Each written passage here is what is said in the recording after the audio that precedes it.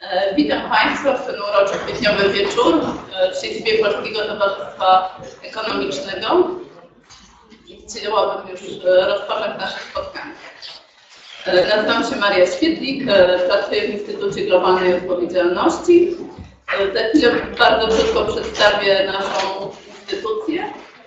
E, Następnie przejdziemy do prezentacji e, przygotowanej przez e, Sharon Street, o której też parę słów za chwilę.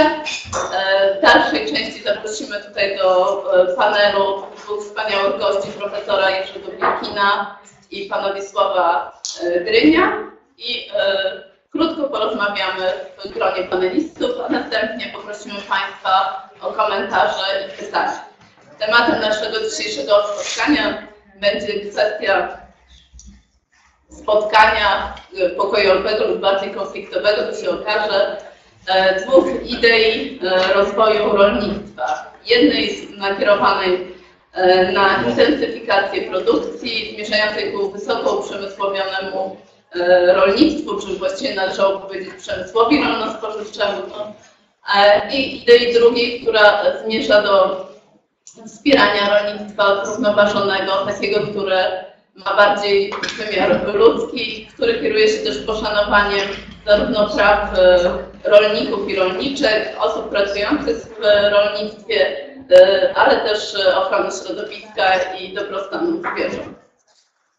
E, Całość e, naszego spotkania jest e, transmitowana na żywo i będziemy też mieć e, potem z tego nagranie, które udostępnimy na kanale e, Instytutu Globalnej Odpowiedzialności. Chciałam też bardzo podziękować e, Polskiemu Towarzystwu Ekonomicznemu i pani profesor Mączeńskiej za objęcie patronatem naszego spotkania. Teraz krótko przedstawię Państwu nasz instytut. Jesteśmy fundacją działającą w Warszawie, ale o e, globalnej perspektywie w myśleniu i działaniu. Zajmujemy się relacjami między globalnym południem a globalną północą. E, Dawniej e, używano takiej terminologii opisującej te, dwa, te dwie części świata jako e, kraje rozwijające się i kraje rozwinięte. Dzisiaj staram się używać takiego bardziej neutralnego nazewnictwa i my jako Instytut Globalnej Odpowiedzialności staramy się przynosić tutaj na północ postulaty wypracowane przez e, organizacje społeczne globalnego południa.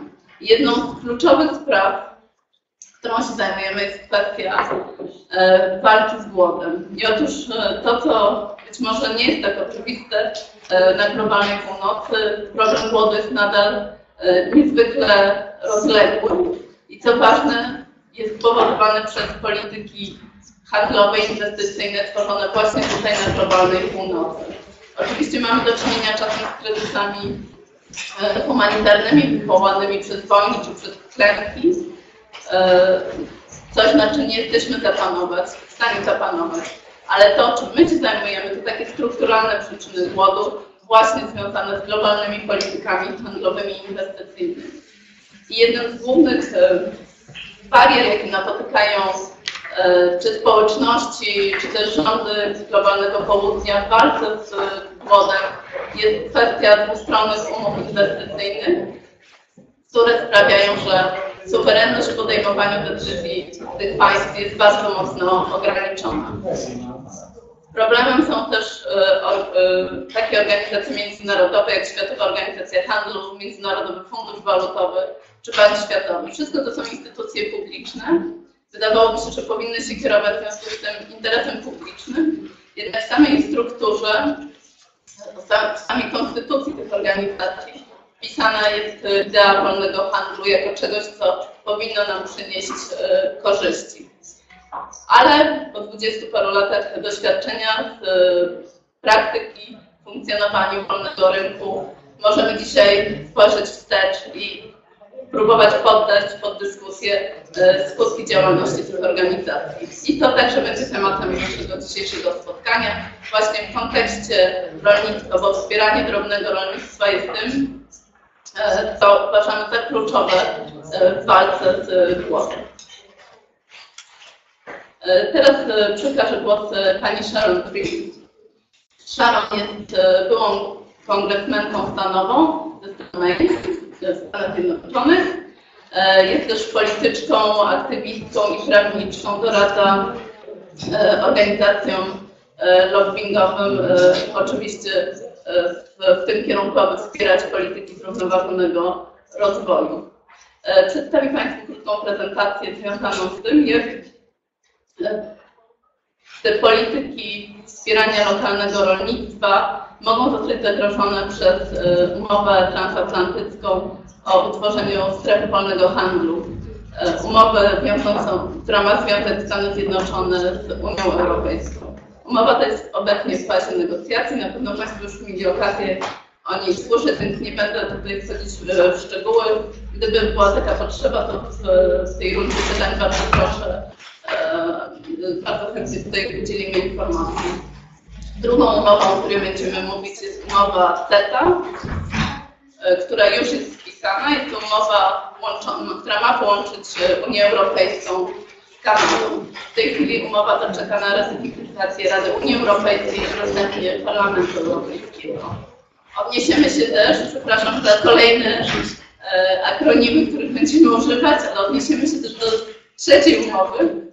Jest to umowa NAFTA, która 20 lat temu związała Stany Zjednoczone, Kanadę i Meksyk. To była pierwsza modelowa dla tych kolejnych umów, e, umowa tworząca strefę wolnego handlu i mamy dosyć dużo już analiz pokazujących, co się w konsekwencji przez te 20 lat wydarzyło z prawem do regulacji, ale także z promocją tego zrównoważonego rolnictwa. I jeszcze ostatni akronim, jakiego będziemy używać, to jest TPP, czyli umowa transpacyficzna, którą Stany Zjednoczone podpisały 12 z państwami regionu Pacyfiku. Ona nie weszła jeszcze w życie, ale jest już gotowa i też pewne idee w niej zawarte stają się punktem odniesienia do dyskusji nad tym, co może przynieść Polsce, szerzej Unii Europejskiej, czy szerzej obywatelom i obywatelkom świata zawarta w tych umowach.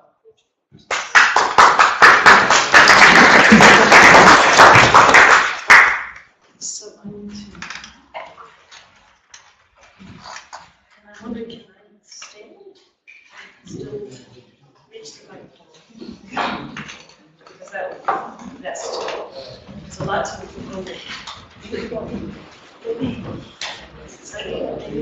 that. Um,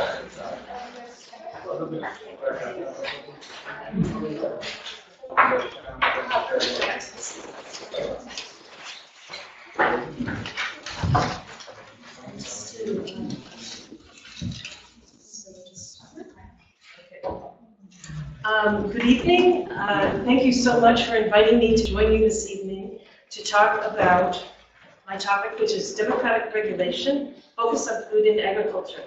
That was actually a title that was created in Rome, where I was speaking a few days ago, and I thought it was perfect, so I imported it into my Warsaw presentation.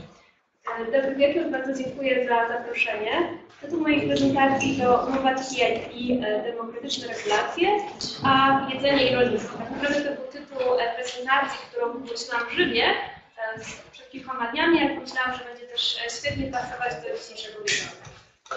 As I see it, when we talk about trade agreements, um, such as all those acronyms, TTIP, TPP, CETA, they're about democracy and whether it continues to be a strong, vital democracy, and whether or whether it will be replaced by rules that are developed in secret in these trade agreements, and also how it affects our society. And so specifically, I've been looking at issues around food and agriculture. I may mention a few other issues, but I've been spending a lot of time researching and thinking about that, and so that's my focus tonight.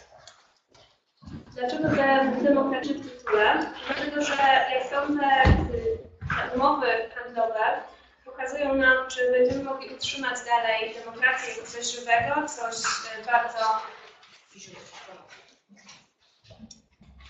coś, co jest żywe, coś, co ma moc, czy też e, zasady demokratyczne będą zastąpione przez zasady, które są opracowywane tajnie i w jaki sposób to wpłynie na społeczeństwo. Ja skupię się na jedzeniu i na rolnictwie, ale być może wspomnę też o kilku innych e, aspektach, natomiast na tym, to, co przede wszystkim ważne.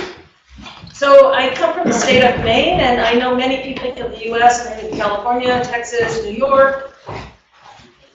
My state is up near Canada, and here's a beautiful picture of a farm in Brunswick, Maine. It's called a forever farm because we are doing things in our state to try to preserve the land for new farmers, young farmers, to be able to afford to uh, continue in the tradition of the farming and bring new people to our state uh, to practice sustainable local farming. Przyjechałam ze stanu Maine, wiem, że te stany kojarzą się na przykład z Teksasem, z Kalifornią czy z Nowym Jorkiem, ale mój stan leży na północy, w okolicach Kanady i widzicie tutaj Państwo piękny krajobraz e, z moich okolic. Jest to farma, którą nazwaliśmy Farma na zawsze, a to dlatego, że chcemy przede wszystkim kultywować dawne tradycje produkcji żywności, a z drugiej, chcemy, z drugiej strony chcemy zapraszać nowych ludzi, zapraszamy młodych rolników do tego, żeby odkrywali te tradycyjne e, sposoby e, hodowania ziemi. So I feel I need to just tell you a little bit about myself and why I'm doing this before we launch into all the acronyms. Um, for 22 years, I was in the legislature of the state of Maine, and one of the things I did there was to be the chairperson of a commission that looked at how uh, trade policy affects our state, good and bad. And I remain on that commission even though I'm no longer in the legislature because it's a citizen uh, committee that includes also elected officials and representatives of our, our executive branch, like the agriculture department and the environmental department. Przez 22 lata byłam członkiem, byłam członkiem ciała legislacyjnego na poziomie stanu i byłam też przewodniczącą komisji dotyczącej właśnie mm, żywności i nasza komisja badała to, w jaki sposób te umowy handlowe wpływają na e, sytuację naszego stanu. Dzisiaj też jestem jej członkiem, a to dlatego, że ta komisja skupia z jednej strony mm, ciała władzy ustawodawczej, wykonawczej, ale także e, zwykłych obywateli. So two years ago, we did a study as a commission. We hired a consultant, not me, somebody else, uh, to do a report uh, to just look at how the TTIP might affect our state's uh, agriculture. And the conclusion was that it was threatened. The kinds of things we are trying to do in terms of sustainable farming, uh, in terms of providing local um, food to our schools. Uh, you know, many areas uh, in terms of our, our interest in labeling food uh, to show if it has GMO ingredients. Dwa lata temu nasza komisja zleciła badanie, wykonywałam nie, nie, nie, nie ja, inny e, konsultant i to badanie dotyczyło, w jaki sposób umowa TTIP może wpłynąć na to, co próbujemy zdziałać w naszym stanie. Czy też istnieje zagrożenie, że zrównoważone rolnictwo, które e, staramy się wdrożyć, e, czy też korzystanie z lokalnej żywności, dostarczanie tego typu żywności do szkół, czy też wreszcie oznakowanie żywności na przykład ze względu na zawartości GMO jest zagrożone. So there's so many issues, I cannot get into them. Uh, I was told 20 minutes, and then with the translation, I probably am only going to get to a couple.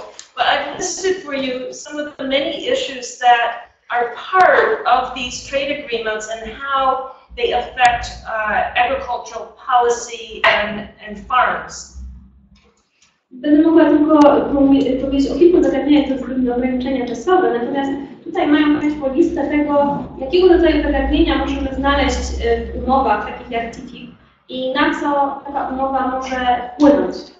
And since it's in English, I'll just point out a couple like food safety and quality, pesticide use, um, GE crops, labeling, animal welfare, procurement. Kilka z nich to na przykład bezpieczeństwo żywności, jakość żywności, obecność pestycydów, obecność GMO, znakowanie żywności, zamówienia publiczne, So, just a little background, who is in charge of writing these trade agreements? Well, in the United States, I, I don't know if the colors show up in the back of the room, but all those purple dots are trade groups representing various large um, businesses. And the blue dots are actually the industries themselves. And then the yellow dots are government, and the green dots are academia, and the red dots are labor. Nie wiem, czy dobrze widać kolory, ale te purpurowe to będą grupy związane z handlem, niebieskie to będą różne gałęzie em, przemysłu czy też produkcji, żółty to rząd, zielony to środowisko akademickie i e, wreszcie e, czerwony The red one was labor. a i czerwony to, m, to będą ludzie pracy. And because I almost missed it, there's a couple of sort of dark, kind of orangey dots that are the NGOs. I mamy też niewielki odsetek organizacji pozarządowych, a cały ten schemat obrazuje to, kto rzeczywiście tworzy takie umowy jak właśnie. So I think it's important just to realize that at least in the United States, the people who are most uh, advising the U.S. trade representative who have access to the secret text that the U.S. trade representative is proposing are by and large extremely large businesses, and they're not the small businesses and small farms we've been talking about. Warto więc sobie zdać sprawę, że przynajmniej w Stanach Zjednoczonych to ma tak naprawdę, to tak naprawdę doradza tym osobom, które w strukturach rządowych amerykańskich mają dostęp do tych super tajnych dokumentów, umów i zajmują się, nimi. To są przede wszystkim, e, to jest przede wszystkim duży biznes, duże korporacje, natomiast to nie są małe i średnie firmy. Okay, so here is the question that we were trying to answer in the United States and that I pose to you. Will the TTIP, the Transatlantic Trade and Investment Partnership, support our local efforts to encourage local sustainable food and agriculture? Or will the TTP, TTIP undermine these efforts to provide new tools uh, to challenge and change these policies? To jest najważniejsze pytanie, na które staram sobie odpowiedzieć Stanach Zjednoczonych i chcę też to pytanie postawić Państwu, to czy umowa TTIP będzie wspierała wysiłki na rzecz tego, żeby zbudować oparte o lokalne m, działania zrównoważone rolnictwo i systemy obrotu żywnością, czy też może właśnie TTIP będzie hamowało te wysiłki i pojawią się nowe, nowe zagrożenia dla zmiany tej polityki. And here's a picture of my friend Jim Amaral, who started a company called Borealis Bread probably 25 or 30 years ago in the state of Maine when everybody had really terrible bread. And it's delicious bread that you could get in Europe, but you could not get in the United States at the time. And he's a perfect example of what we want to do more of. Tutaj na zdjęciu jest mój przyjaciel Jim Amaro, który kilka lat temu w stanie Maine starał się dać klientom bardzo dobrej jakości chleb, którego bardzo u nas brakowało i myślę, że symbolizuje to, jak. So, one of the issues that when you hear about trade agreements, it's people think of it as being market access, selling goods from one country to another and back and forth. And so the question with the um, EU-US agreement is, what is it that the US is trying to sell to the European Union? And um, how might that affect your agriculture and food policy and also your farms uh, and agriculture here in the European Union? Mówi się o tym, że te umowy dotyczą ruchu takiego dwukierunkowego między Stanami a Unią Europejską. Możemy sobie zadać pytanie, co też e, Stany chcą sprzedać Unii Europejskiej i w jaki sposób wpłynie to na nasze rolnictwo, w jaki sposób wpłynie to też na politykę dotyczącą żywności. So the big agricultural companies, which are really industrialized agriculture, they're the Monsantos, they're Smithfield, um, you know, the, the meat packing companies. Um, it's, you know, the, these are the companies that are behind it. And this is what um, they want to sell. Te ogromne firmy, które chcą wejść na rynek europejski, takie jak Monsanto, czy też e, te duże firmy, które sprzedają mięso, co one właściwie chcą nam sprzedać? U.S. Uh, the U.S. allows um, more animal byproducts in feed. Um, these are the, the, the byproducts that have led to mad cow disease. In addition, our pigs are fed with this drug called racopamine. They grow really, really fast when they take this drug. It costs the companies less, but of course the drug ends up in the food, and we have a statistic from Consumer Reports, very respected independent uh, consumer group, says that one in every five pork chops in the United States has this drug, uh, traces of this drug in it. Pierwsze, w Stanach dozwolonych jest o wiele więcej produktów y, czy substancji pochodzenia zwierzęcego w paszy dla zwierząt, y, co na przykład było, było, bywa powodem takich e, chorób jak choroba szalonych krów. Poza tym na przykład e, świniom podaje się aktopaminę, która y, zwiększa ich wzrost, natomiast y, ona jest w Unii Europejskiej niedozwolonym środkiem. Okazuje się, że y, jeden na pięć e, mm, kotletów, które możecie spożyć wieprzowych w Stanach Zjednoczonych, zawiera właśnie śladowe ilości tej substancji. So we also have hormones in our beef, very common, banned in the European Union in 1989 in terms of routine use. We also do not practice farm to fork food sanitation. Instead, anything goes, and then at the end, you dip your chicken into a microbial solution to get rid of the, the bad stuff.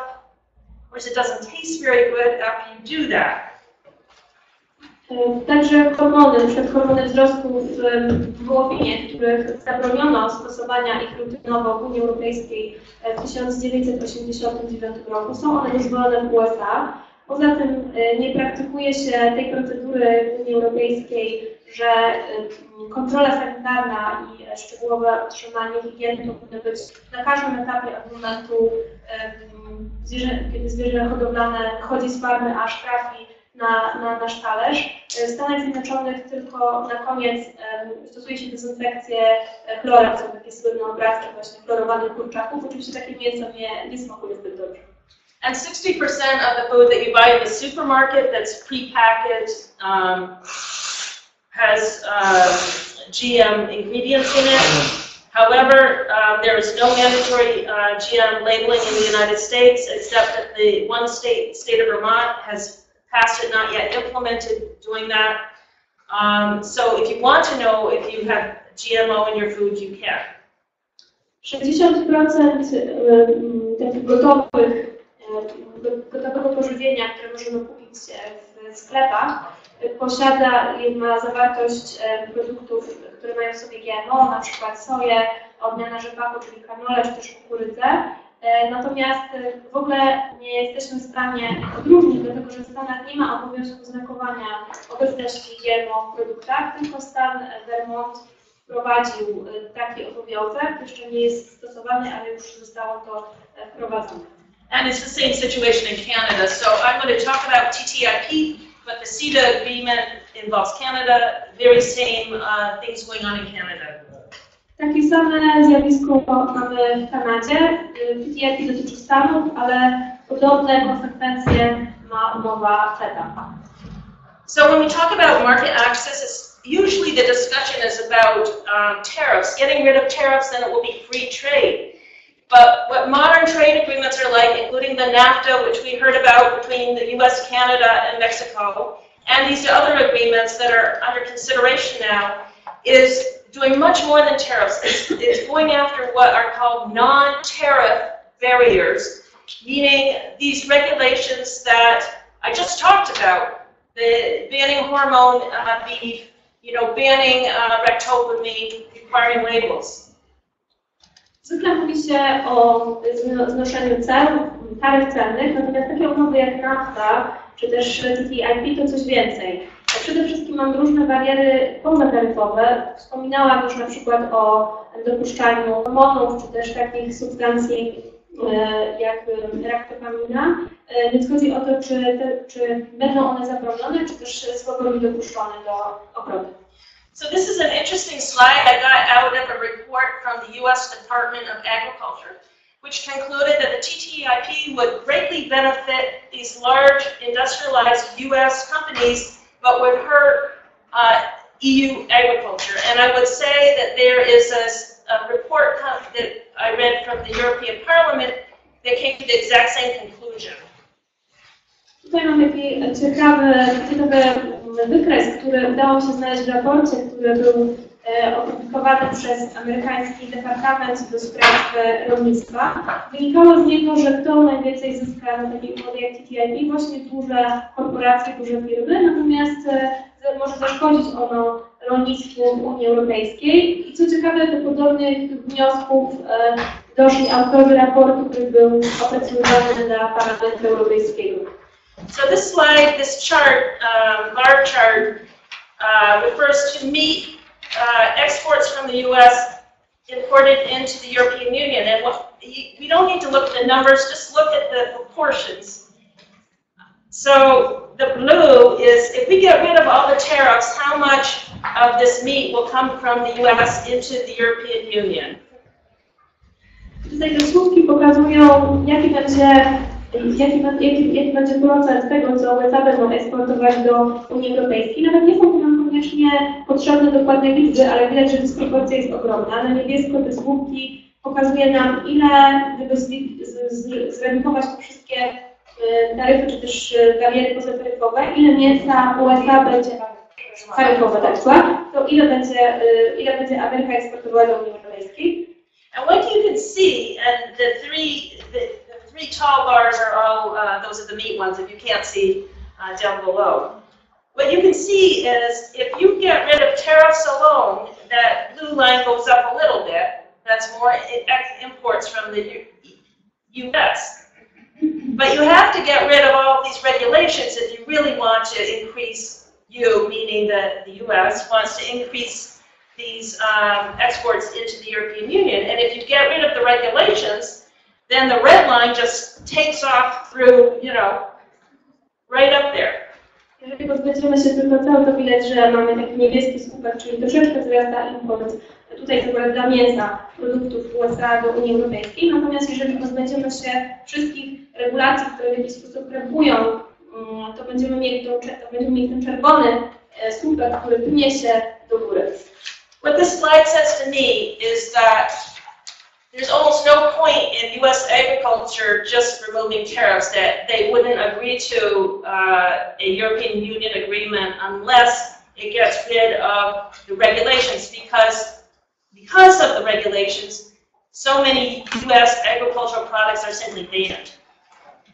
To mi pokazuje, że dla Stanów Zjednoczonych wcale nie jest wystarczające tylko zlikwidowanie tych taryf celnych, dlatego że tak naprawdę, żeby rzeczywiście nastąpił gwałtowny wzrost tego importu produktów USA do Unii Europejskiej, potrzebne jest właśnie pozbycie się różnych regulacji, e, które powodują zakaz wprowadzenia niektórych produktów z USA do obrotu w Unii Europejskiej. So um, the negotiators for the European Union say, don't worry, relax, nothing will change. In fact, their fact sheet says there will be no weakening of EU food standards, absolutely none. And I love this quote, the way we regulate things like genetically modified organisms and food safety will stay just like it is. Co mówią negocjatorzy unijni? Uspokajają, że nie będzie żadnego osłabienia wysokich standardów unijnych dotyczących jedzenia i mój, jeden z moich ulubionych cytatów, że to jak regulujemy na przykład zawartość GMO pozostanie tak jak do tej pory. And they also say that we support the precautionary principle, which you should know is not the guiding principle behind the U- United States food system uh, rules or chemical rules or anything else, and nor is it the guiding principle in, in Canada. Także e, negocjatorzy mówią, że zostanie utrzymana zasada e, ostrożności, która jak, wie, która jak wiemy nie jest stosowana ani w USA, ani w Kanadzie. But the thing is this, unless you change those rules that um, Cecilia Malmström says are never going to be changed, there's no reason to have an agreement from the point of view of the United States big agriculture. So something isn't quite right here. And there's got to be some way to make this happen. And the way that these negotiators have come up with to say, on the one hand, nothing will change, we won't change any of these rules at all, but then on the other hand, reassuring the United States that yes, you'll be able to send us your products that don't meet our standards, they come up with something called regulatory cooperation. Jak to jest, że komisarz Malmström uspokaja nas, że nie będzie żadnych zmian, e, standardów, natomiast e, gdyby chodziło tylko o same taryfy celne, nie byłoby to opłacalne dla e, USA. Coś w takim razie musi być nie tak i w jaki sposób negocjatorom udaje się uzyskać to poparcie producentów USA i jakie, jakie rozwiązanie tutaj będzie pomocne.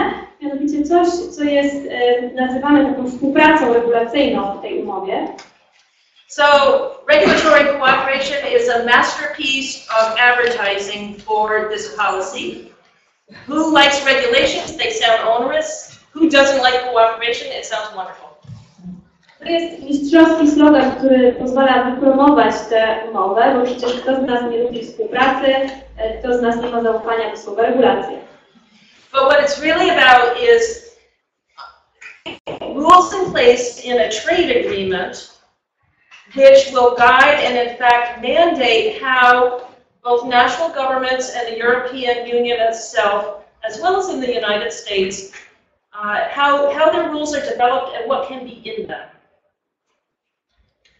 Na czym to polega? Otóż w umowie handlowej zawarte są zasady co do tego, e, w jaki sposób, e, w jaki sposób rządy, ale także w jaki sposób instytucje Unii Europejskiej mają tak naprawdę opracowywać e, te zasady, w jaki sposób mają je też wprowadzać w życie. We can actually look at some text that the European Commission has posted online so that we know that when they are seeking to have uh, these things that I have listed on the slide, um, They want things to be, quote, science-based. That sounds great. In my opinion, the European Union's uh, rules are science-based. They're based on studies about whether something is safe or not.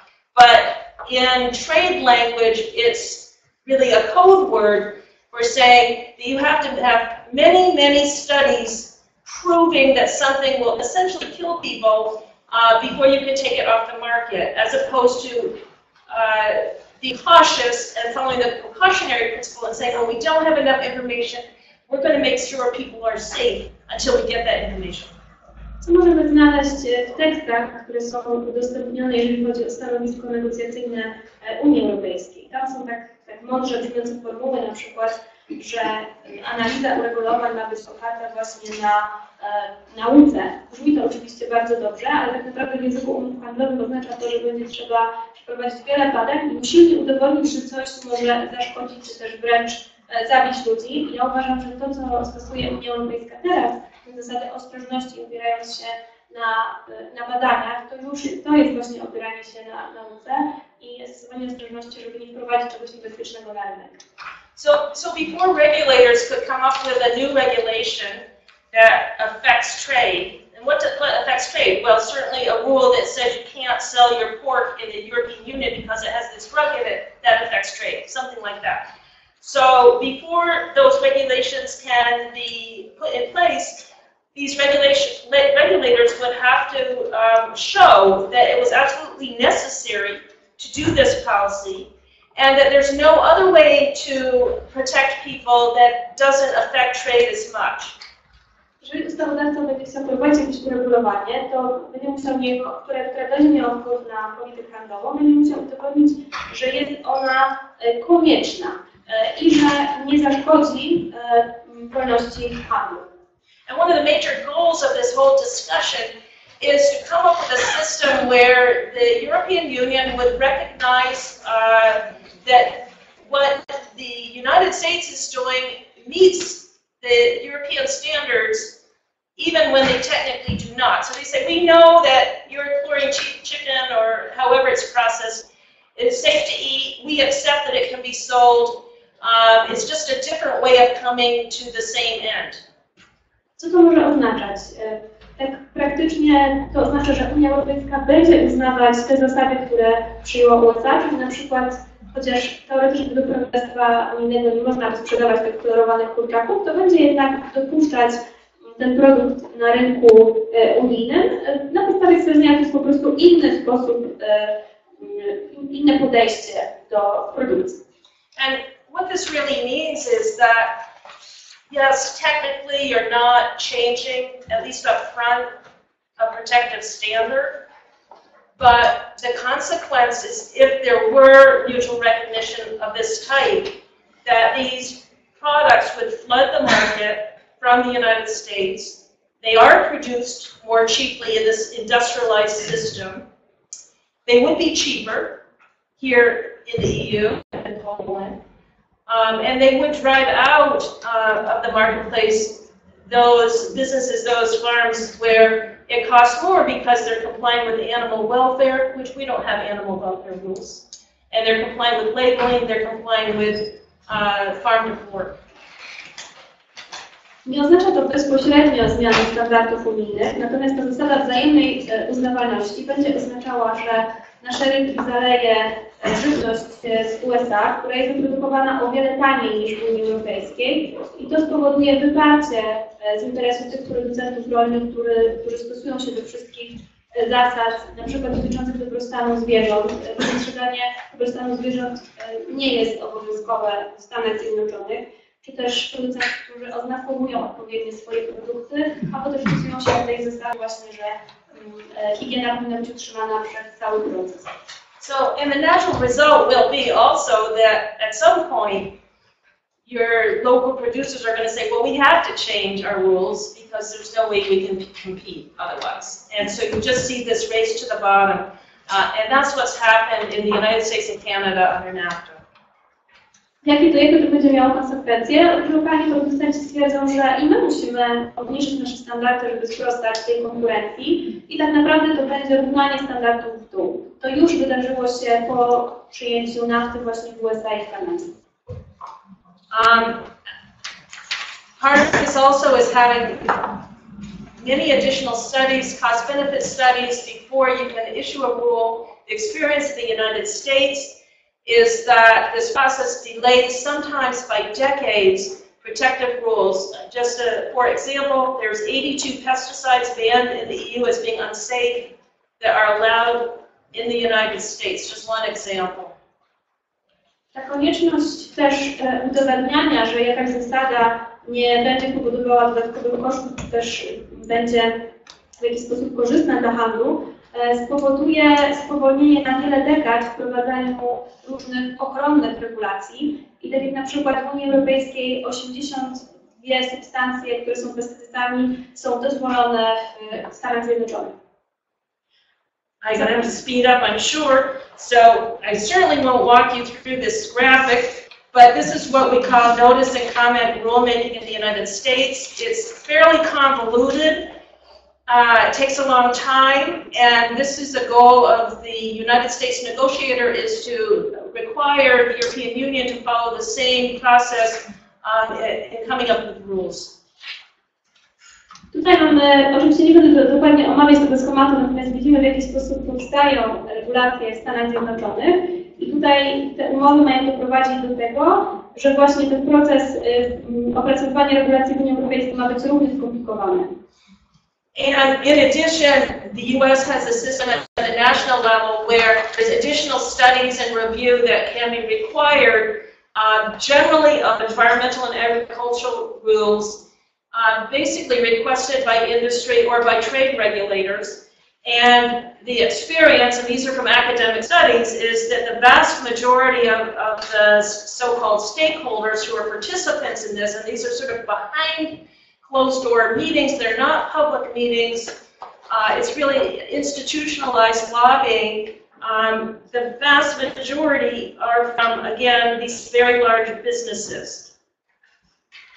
Też takie dodatkowe, procedury, które się wprowadza w Stanach Zjednoczonych, które mają e, udowodnić, dlaczego jakaś na przykład regulacja ochronna ma być wprowadzona i czy zaszkodzi to e, firmom i ta konieczność konsultacji z przedstawicielami różnych sektorów według badań naukowych pokazuje, że poza tym, że są te dodatkowe procesy, które są wdrażane, to że najczęściej te różne spotkania z zamkniętymi drzwiami tych aktorów zaangażowanych w proces, to właśnie, to właśnie są lobbyści, lobbyści dużych firm, czy też branż przemysłu.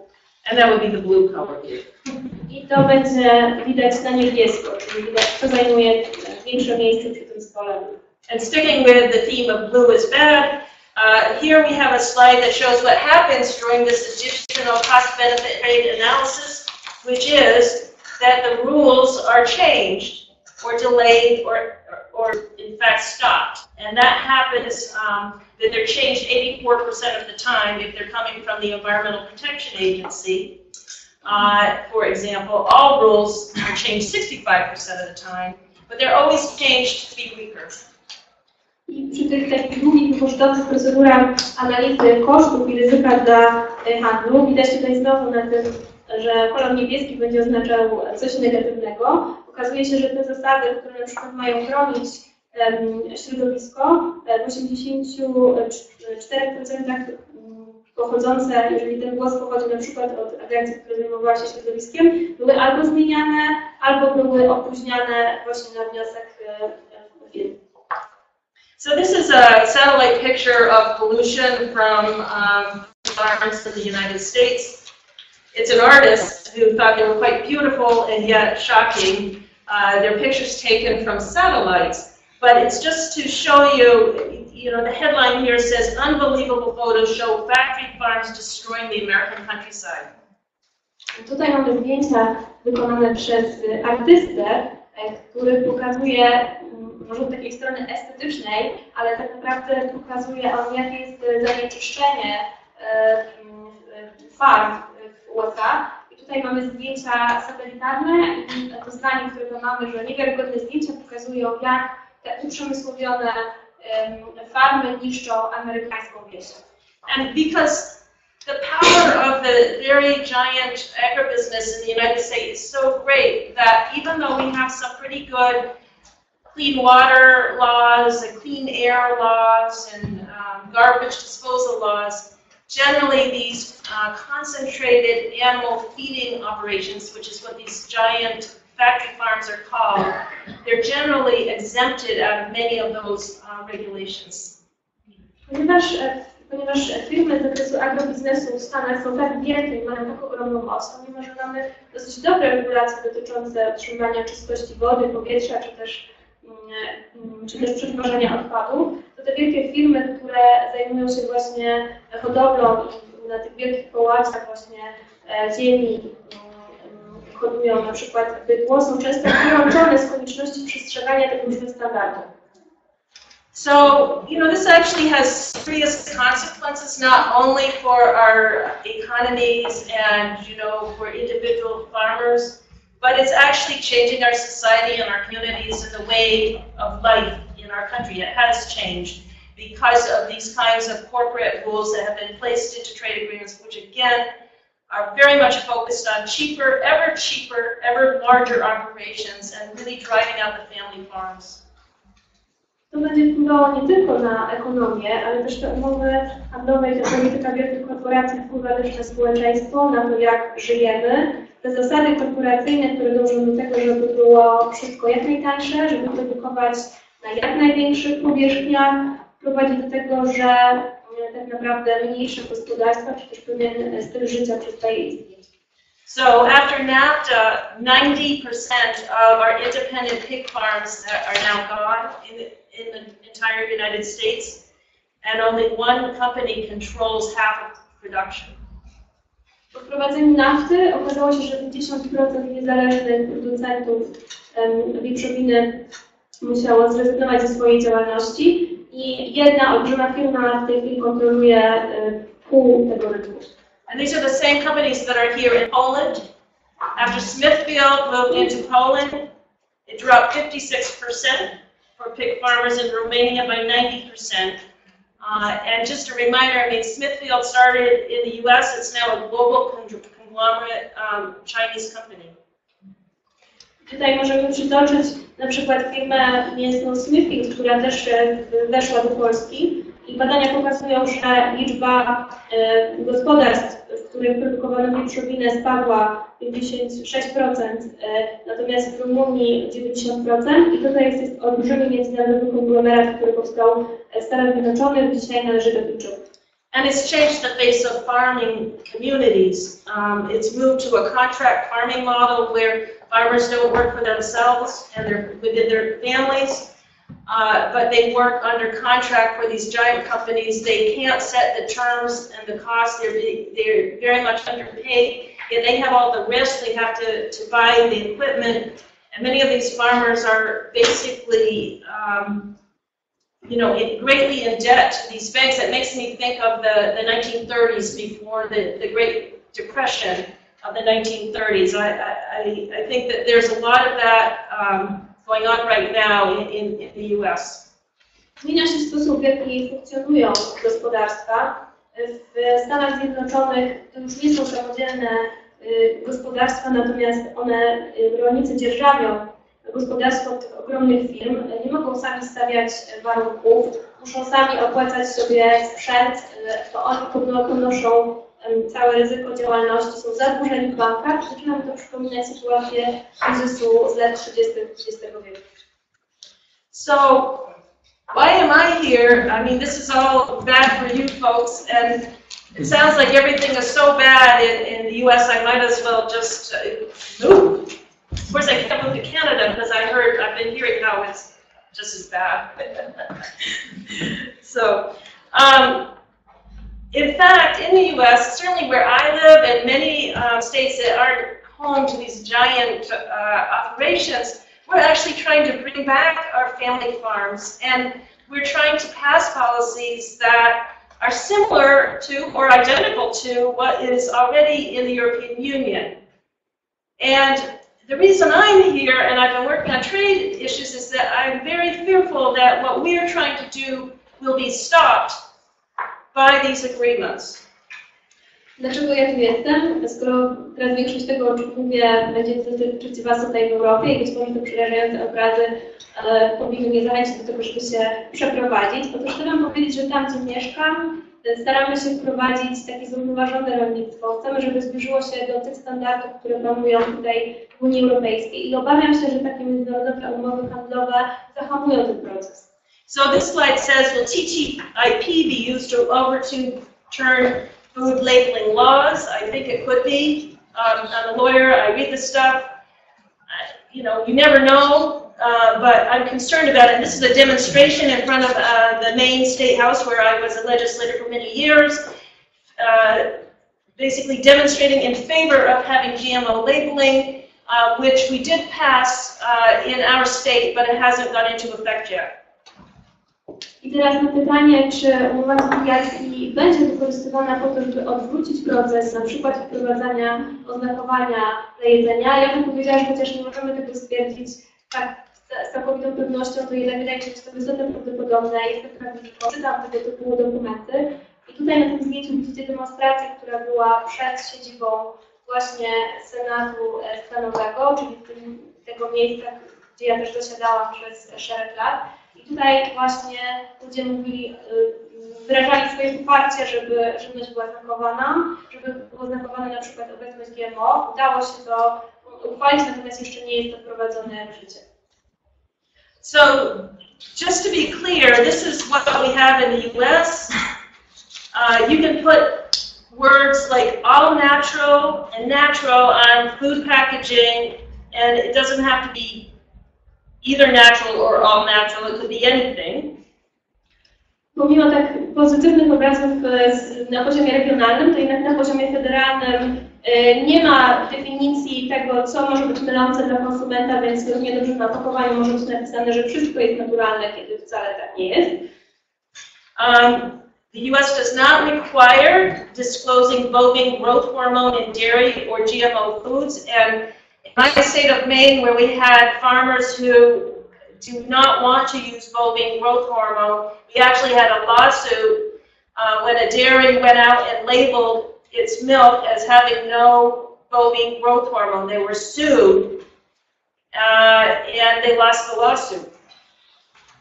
Nie ma obowiązku ujawniania zawartości hormonów wzrostu w produktach mlecznych, na przykład obecności, też, w, czy, też mm, tak, nie ma takiego obowiązku i e, w stanie Maine farmerzy, którzy chcieli oznaczyć na swoich produktach mlecznych, że nie korzystali z hormonów wzrostu, stanęli wręcz przed sądem e, i przyjęli tę sprawę za to, że usiłowali wprowadzać takie oznaczenie.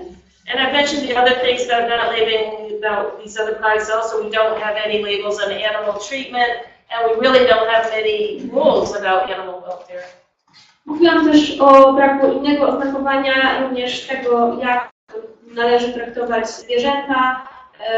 W ogóle nie mamy właściwie obowiązku przestrzegania dobrostanu zwierząt. So I've written a report that's online. It's from a U.S. perspective, but it's about why uh, what U.S. states are trying to do to promote healthy food and good farming are at risk under both the uh, transatlantic and trans-Pacific agreements, and I have a link to it at the end of the presentation. Jestem autorką tutaj raportu, którego okładkę widzicie Państwo na zdjęciu. To ukazuje wprawdzie perspektywę USA, ale można z niej bardzo wiele wyczytać, jaki może być właśnie wpływ em, tego typu umów na, na żywność, na rolnictwo i też e, pokażę zaraz link do tego raportu, można go przeczytać online. Um, another concern, just briefly, is I mentioned we have a strong program about uh, requiring that local farms provide food to our schools. It helps the farmers, it helps the schools. Um, we're concerned this will be under threat because actually in this case, the European Union very much wants to control what kind of procurement uh, requirements can be made at the local level in the United States. So this is where the European Union's demands are affecting us in the United States in a way that we think is harmful to our efforts to promote uh, good farming and food. I teraz e, chciałam jeszcze powiedzieć o jednym, jednym zjawisku, mianowicie, w naszym e, stanie e, mamy taką procedurę takich rodzaj klauzul społecznych w zamówieniach publicznych, to znaczy, że szkoły korzystają z produktów lokalnych rolników, jest to korzystne i dla rolników, jest to korzystne dla, i jest to korzystne właśnie e, dla, też dla szkół. Natomiast tutaj Unia Europejska negocjując e, umowę chce wprowadzić taki e, konieczność e, m, takich globalnych zamówień publicznych na, na wszystkich sektorach, na wszystkich etapach i boimy się, że to wpłynie na to, jak my lokalnie możemy kontrolować te zamówienia publiczne, a nie chcielibyśmy, żeby ta polityka się zmieniła. So I have to speed up, so I won't tell you about ISDS, which you hopefully already know about, but we can talk about in the question and answer. But here's a slide that you should see because it shows all the 50,000 companies in the United States that can sue you under the ISDS system if they don't like what you're doing. Nie będę szczegółowo mówić o tym mechanizmie arbitraż inwestor przeciwko państwu, natomiast chcę tylko pokazać na tej mapie te 50 tysięcy firm, które tam widać, to potencjalne firmy, które mogą też pozwać Polskę. So I just, one last thing here, just in case you think I'm just trying to scare you and it's not based on anything uh, in reality. Here's a statement by the American Soybean Association in public, in public testimony saying that they want to remove Poland's ban on the use of biotech ingredients in animal feed, which they say has no basis in science, is trade restricting, and contribute, contravenes the EU's WTO commitments. And they want to use TTIP to, to accomplish this goal.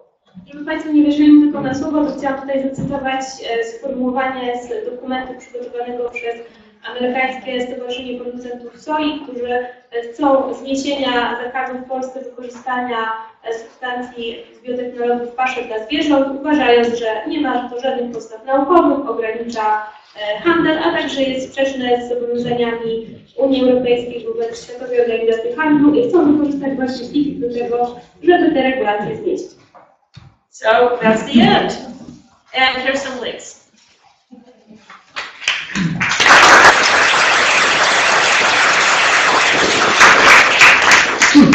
E, Dziękuję bardzo Sharon.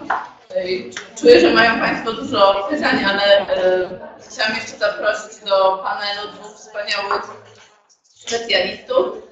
E, Pan profesor Jerzy Wilkin jest kierownikiem Zakładu Integracji Europejskiej w Instytucie Rozwoju Wsi i Rolnictwa Polskiej Akademii Nauk oraz e, pan Wiesław Gryn, e, który jest rolnikiem uprawiającym w metodzie bezorowej za- na Zamojszczyźnie. Jest laureatem tytułu Rolnika Roku Regionu Morza Bałtyckiego z 2014 roku. E, Był też aktywnie zaangażowany w e, obronę e, społeczności żurawlowa, która walczyła z jedną z największych korporacji światowych z sektora wydobywczego, z firmą Chevron, która chciała frakcjonować zwłoki w rejonie, który jest rejonem rolniczym. Czy, czy mogę tutaj panów poprosić, czy, czy zostać? Tak, będzie pełnie? Tak? Czy ze względu na kamerę to jest ok? Tak. Dobrze. E, trochę zaczyna nas czas gonić, ale bardzo bym chciała usłyszeć Panów opinię, a potem przystąpimy e, do dyskusji. Jeszcze krótko chciałabym e, powiedzieć, tak jak Sharon zaznaczyła, sam tutaj występując w panelach związanych z tematyką wolnego handlu i tych planowanych umów TTIP i CETA, czasami czujemy, że operujemy na takim grząskiej materii, ponieważ te umowy, jedna jest dopiero co spisana, nawet jeszcze nie mamy tekstu polskiego, druga jest nadal negocjowana, a my straszymy ludzi. Natomiast e, jesteśmy przekonani, że jest istnieje ważne doświadczenie, które powinniśmy się podzielić i że ono daje nam podstawę do tego, e, żeby jednak e, taką, e, taki niepokój tutaj podnosić. Jest to właśnie ta umowa NAFTA. Ona została wprowadzona w 1995 roku. Była to pierwsza umowa o wolnym handlu łącząca kraje tak zwane rozwinięte, czyli Kanadę i Stany Zjednoczone. Połączyła je z trzecim krajem, czyli Meksykiem. Meksyk był gorąco zachęcany do przystąpienia do tej umowy obietnicami tego, że wolny handel przyniesie gospodarce tego kraju ogromne korzyści, że może spodziewać się wzrostu gospodarczego, że powstaną nowe miejsca pracy, e, że Meksyk stanie się znaczącym e, eksporterem żywności, no bo jest to kraj, którego gospodarka była wówczas głównie rolnicza. E, I niestety te obietnice nie zostały spełnione. W związku z tym, e, po pierwsze chciałam gorąco polecić jedną z naszych publikacji, która jest tutaj e, wyłożona i nosi tytuł Lekcja z Kanady, e, która właśnie opisuje to doświadczenie. A po drugie chciałam poprosić pana profesora Wilkina o taką opowieść o tym, co się stało z tą ideą wolnego handlu, czego nauczyliśmy się z tego 20 paru lat doświadczenia z istnienia Światowej Organizacji Handlu, no i dokąd zmierzamy.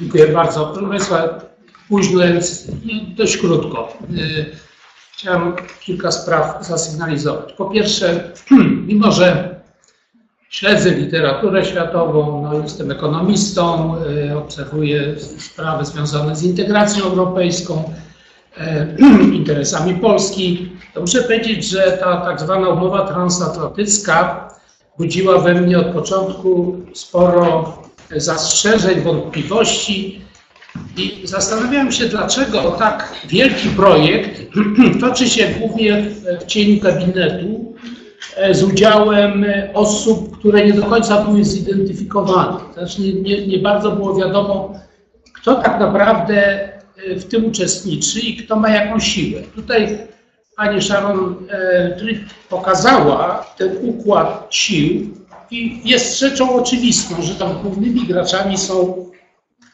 duże firmy, e, e, duże korporacje, czyli tak zwani no, najważniejsi gracze na arenie światowej. Ale króciutko, żeby pokazać to miejsce tego porozumienia trochę w szerszym tle, chciałem przypomnieć Państwu, że na początku lat 90. E, pewnym sukcesem zakończyła się bardzo ważna runda rokowań handlowych, tak zwana runda urugwajska, jeszcze wtedy przebiegająca w ramach e, tego tak zwanego GATT-u, General Agreement on Tariffs and Trade, która ten GATT został później przekształcony w Światową Organizację Handlu. Otóż dzięki porozumieniu e, urugwajskiemu wydatnie zliberalizowano handel światowy, w tym najtrudniejszą część tego handlu, jaką jest handel produktami rolnymi i żywnościowymi. Zredukowano cła na przykład wtedy mniej więcej na te produkty około 36%, co było bardzo ważnym e, posunięciem. W dodatku przekształcono pewne tak zwane instrumenty pozataryfowe w taryfowe.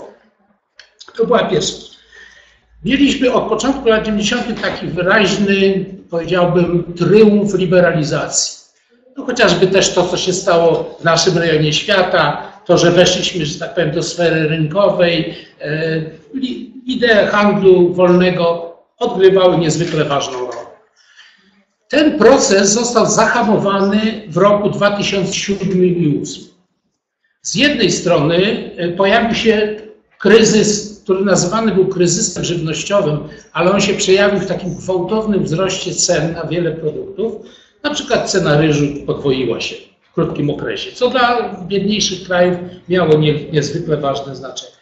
W dodatku w 2008 roku całkowicie utknęła tak zwana runda z Doha e, Światowej Organizacji Handlowej. I postęp w tej dziedzinie to był żaden, tak naprawdę. I w moim głębokim przekonaniu to porozumienie transatlantyckie jest pewnym substytutem tego, co się przedtem działo w ramach WTO. Jest pewną próbą takiego regionalnego porozumienia, które by popchnęło tę liberalizację y, do przodu. Natomiast dla mnie jest niezwykle ważne w tym momencie y, pytanie, a jak to się ma do tego, co się dzieje w ramach integracji europejskiej i tego, co się udało osiągnąć w ramach integracji europejskiej. Na przykład sztandarowym takim osiągnięciem jest tak zwany europejski model rolnictwa.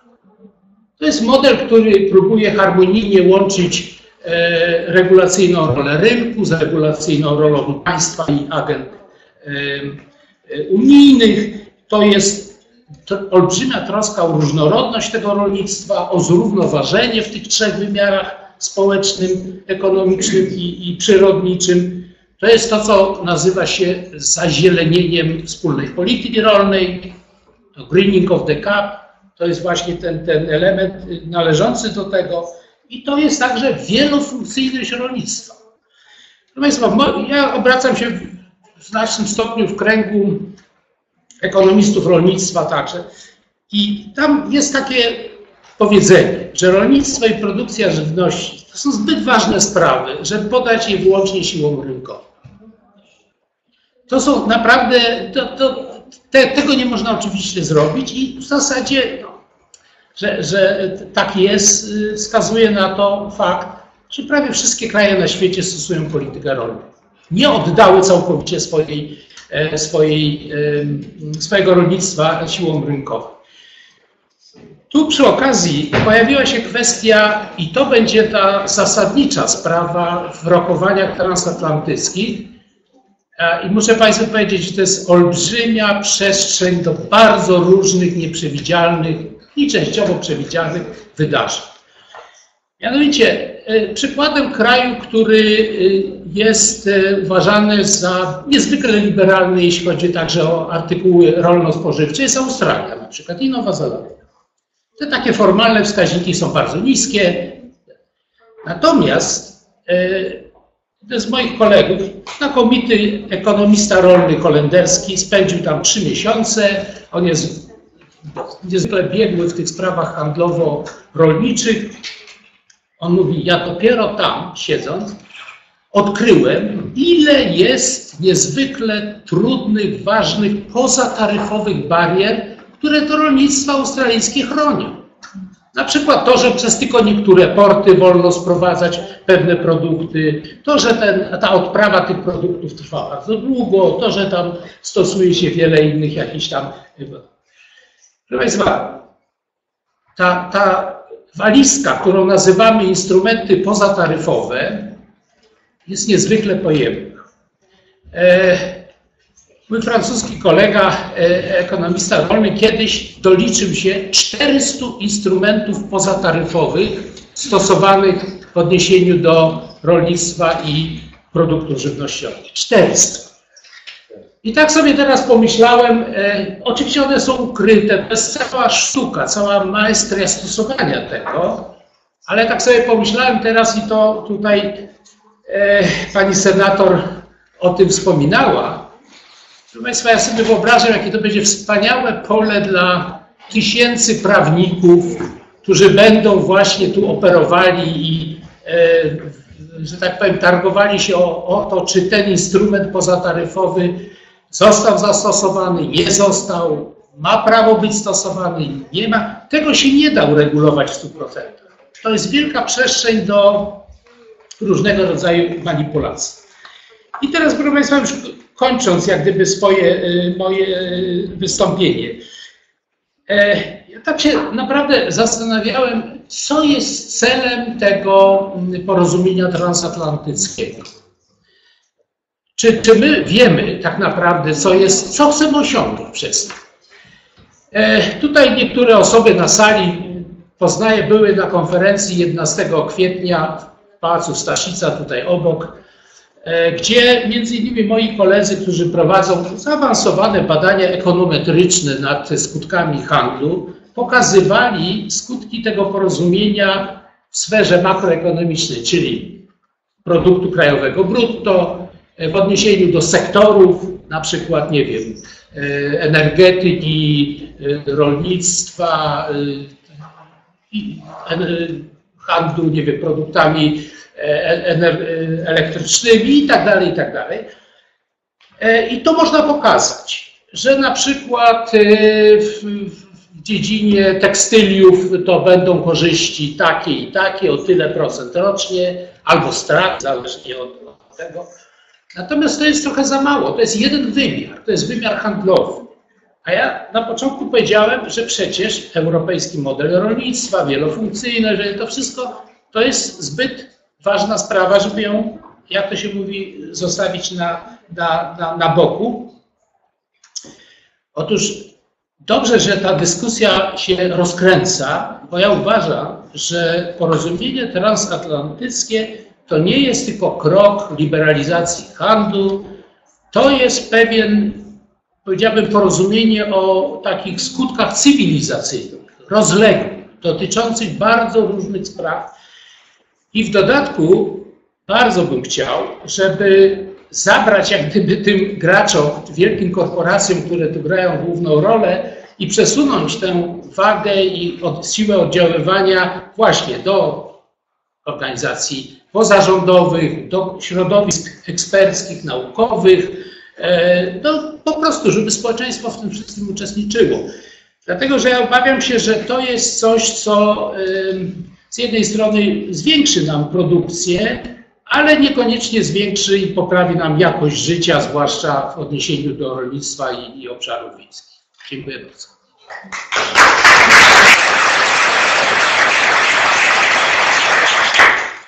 Dziękuję bardzo. chciałam teraz poprosić e, o głos pana Wiesława Gryna.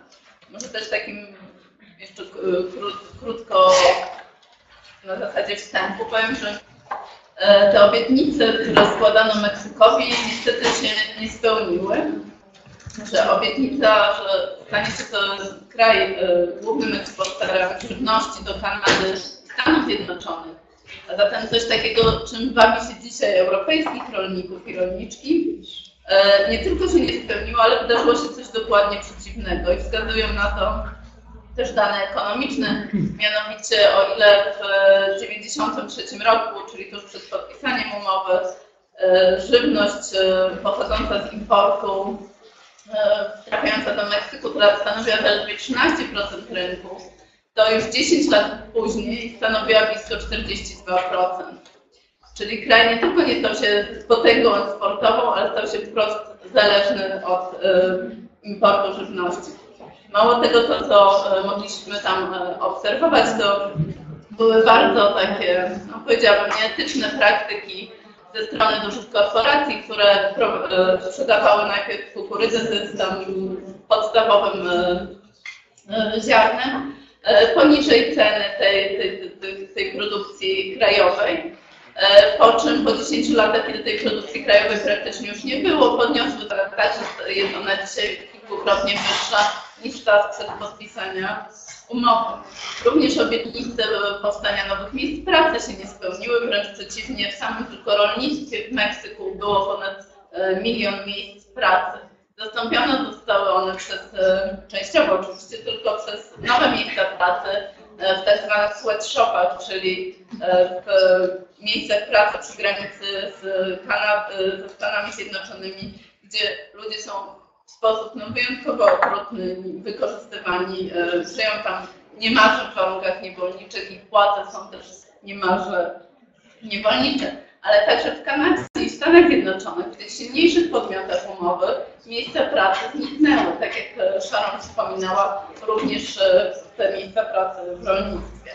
I chciałam Pana Grynia poprosić tutaj o wypowiedź jako osobę, która z jednej strony jest rolnikiem, można powiedzieć przedsiębiorcą, bo to już jest ta skala działalności, że chyba łapie na kategorię mikro i małych, mikro, małych i średnich przedsiębiorców, ale też jako osobę, która tutaj miała już do czynienia z tym, w jaki sposób działają korporacje przybywające do Polski. Dziękuję. Dobrze, Dziękuję bardzo. Proszę Państwa, powiem na początku tak, nie lękajcie się. To nie jest do końca tak, że amerykańska produkcja rolna nas zaleje. To zdjęcie specjalnie wybrałem na dzisiejszą okoliczność. Jest zrobione przez dwóch profesorów z Uniwersytetu z Teksasu, którzy mówili tak, to jest u mnie, to jest mega parno, nazwijmy amerykańska, jak weszliśmy w te klimaty, że oni chcieli mieć choć akt takiej pszenicy w Teksasie. Stany Zjednoczone produkują tyle, ile mogą, konstans. Determinantem jest woda, ograniczeniem jest woda. I tam już się nie da więcej wyprodukować. Oczywiście przez pierwsze 2, 3, 5 lat może mogą nas w jakiś sposób tą żywnością zalać, ale musimy sobie zdać sprawę z jednego, że my 2 miliony ton soi dzisiaj genetycznie modyfikowanej sprowadzamy każdy z nas tutaj dzisiaj zjadł na śniadanie albo na obiad chociaż parę ziarenek w różnej postaci. Nie dało się inaczej. Po prostu. chciał. A to jest, a to, to jest ten cynizm, że mówimy nie uprawiamy, ale konsumujemy.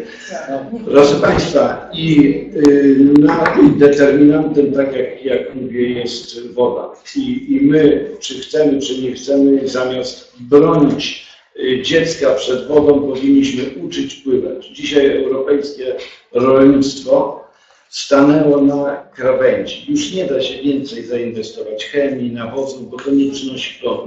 Musimy iść w odwrotną stronę. Ja w gospodarstwie mam ponad 2000 ton wrzodnic. To jest ponad 100 tirów. To jest tak jak 4000 krów.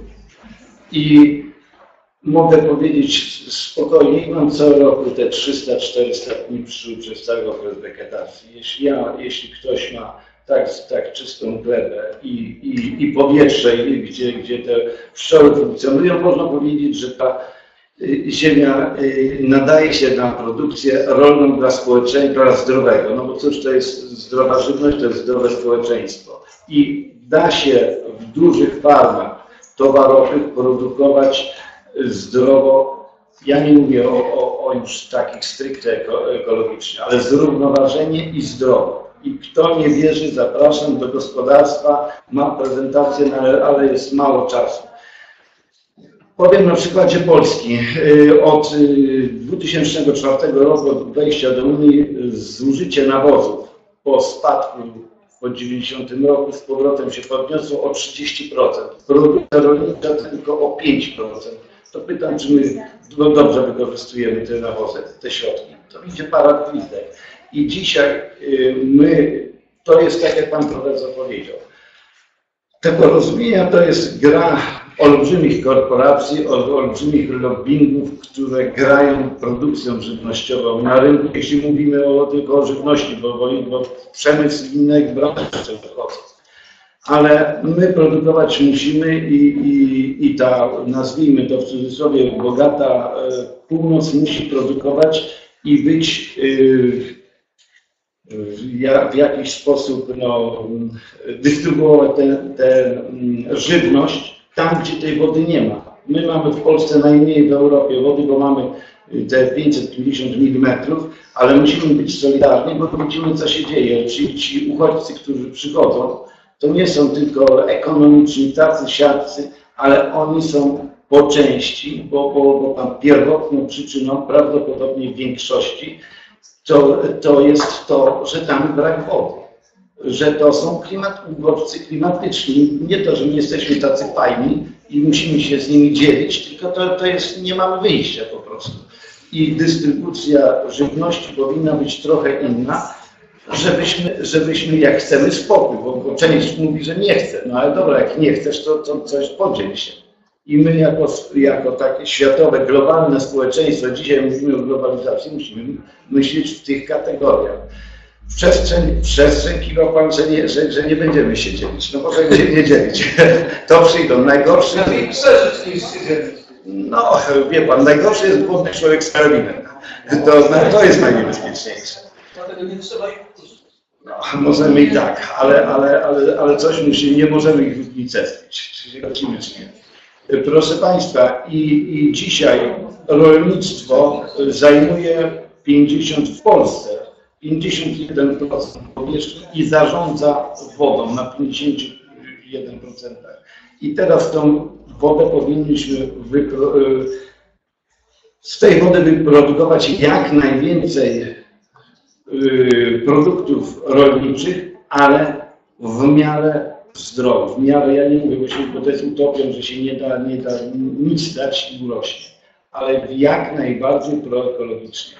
I, i w, 20 lat temu z Jungiem, z Puławami postawiliśmy na takie gospodarstwo, stworzyliśmy. Zapraszam. I to się da. I jeśli mówimy o zagrożeniach, to zagrożenia mamy gdzie indziej, jako Europa, jako Polska. Proszę Państwa, 30 kilometrów na południe od Kielc powstała olbrzymia baza przeładunkowa, kapitał prawdopodobnie kazachsko-ukraiński. Oni mogą 10% polskiej produkcji przeładować rocznie. Możemy tutaj wspólnie wejść na ich stronę. Dzisiaj to się złote ziarno nazywa i sobie zamówić każdy po parę tirów ukraińskiej pszenicy, czy kazachskiej, czy rosyjskiej, bez jakichkolwiek badań.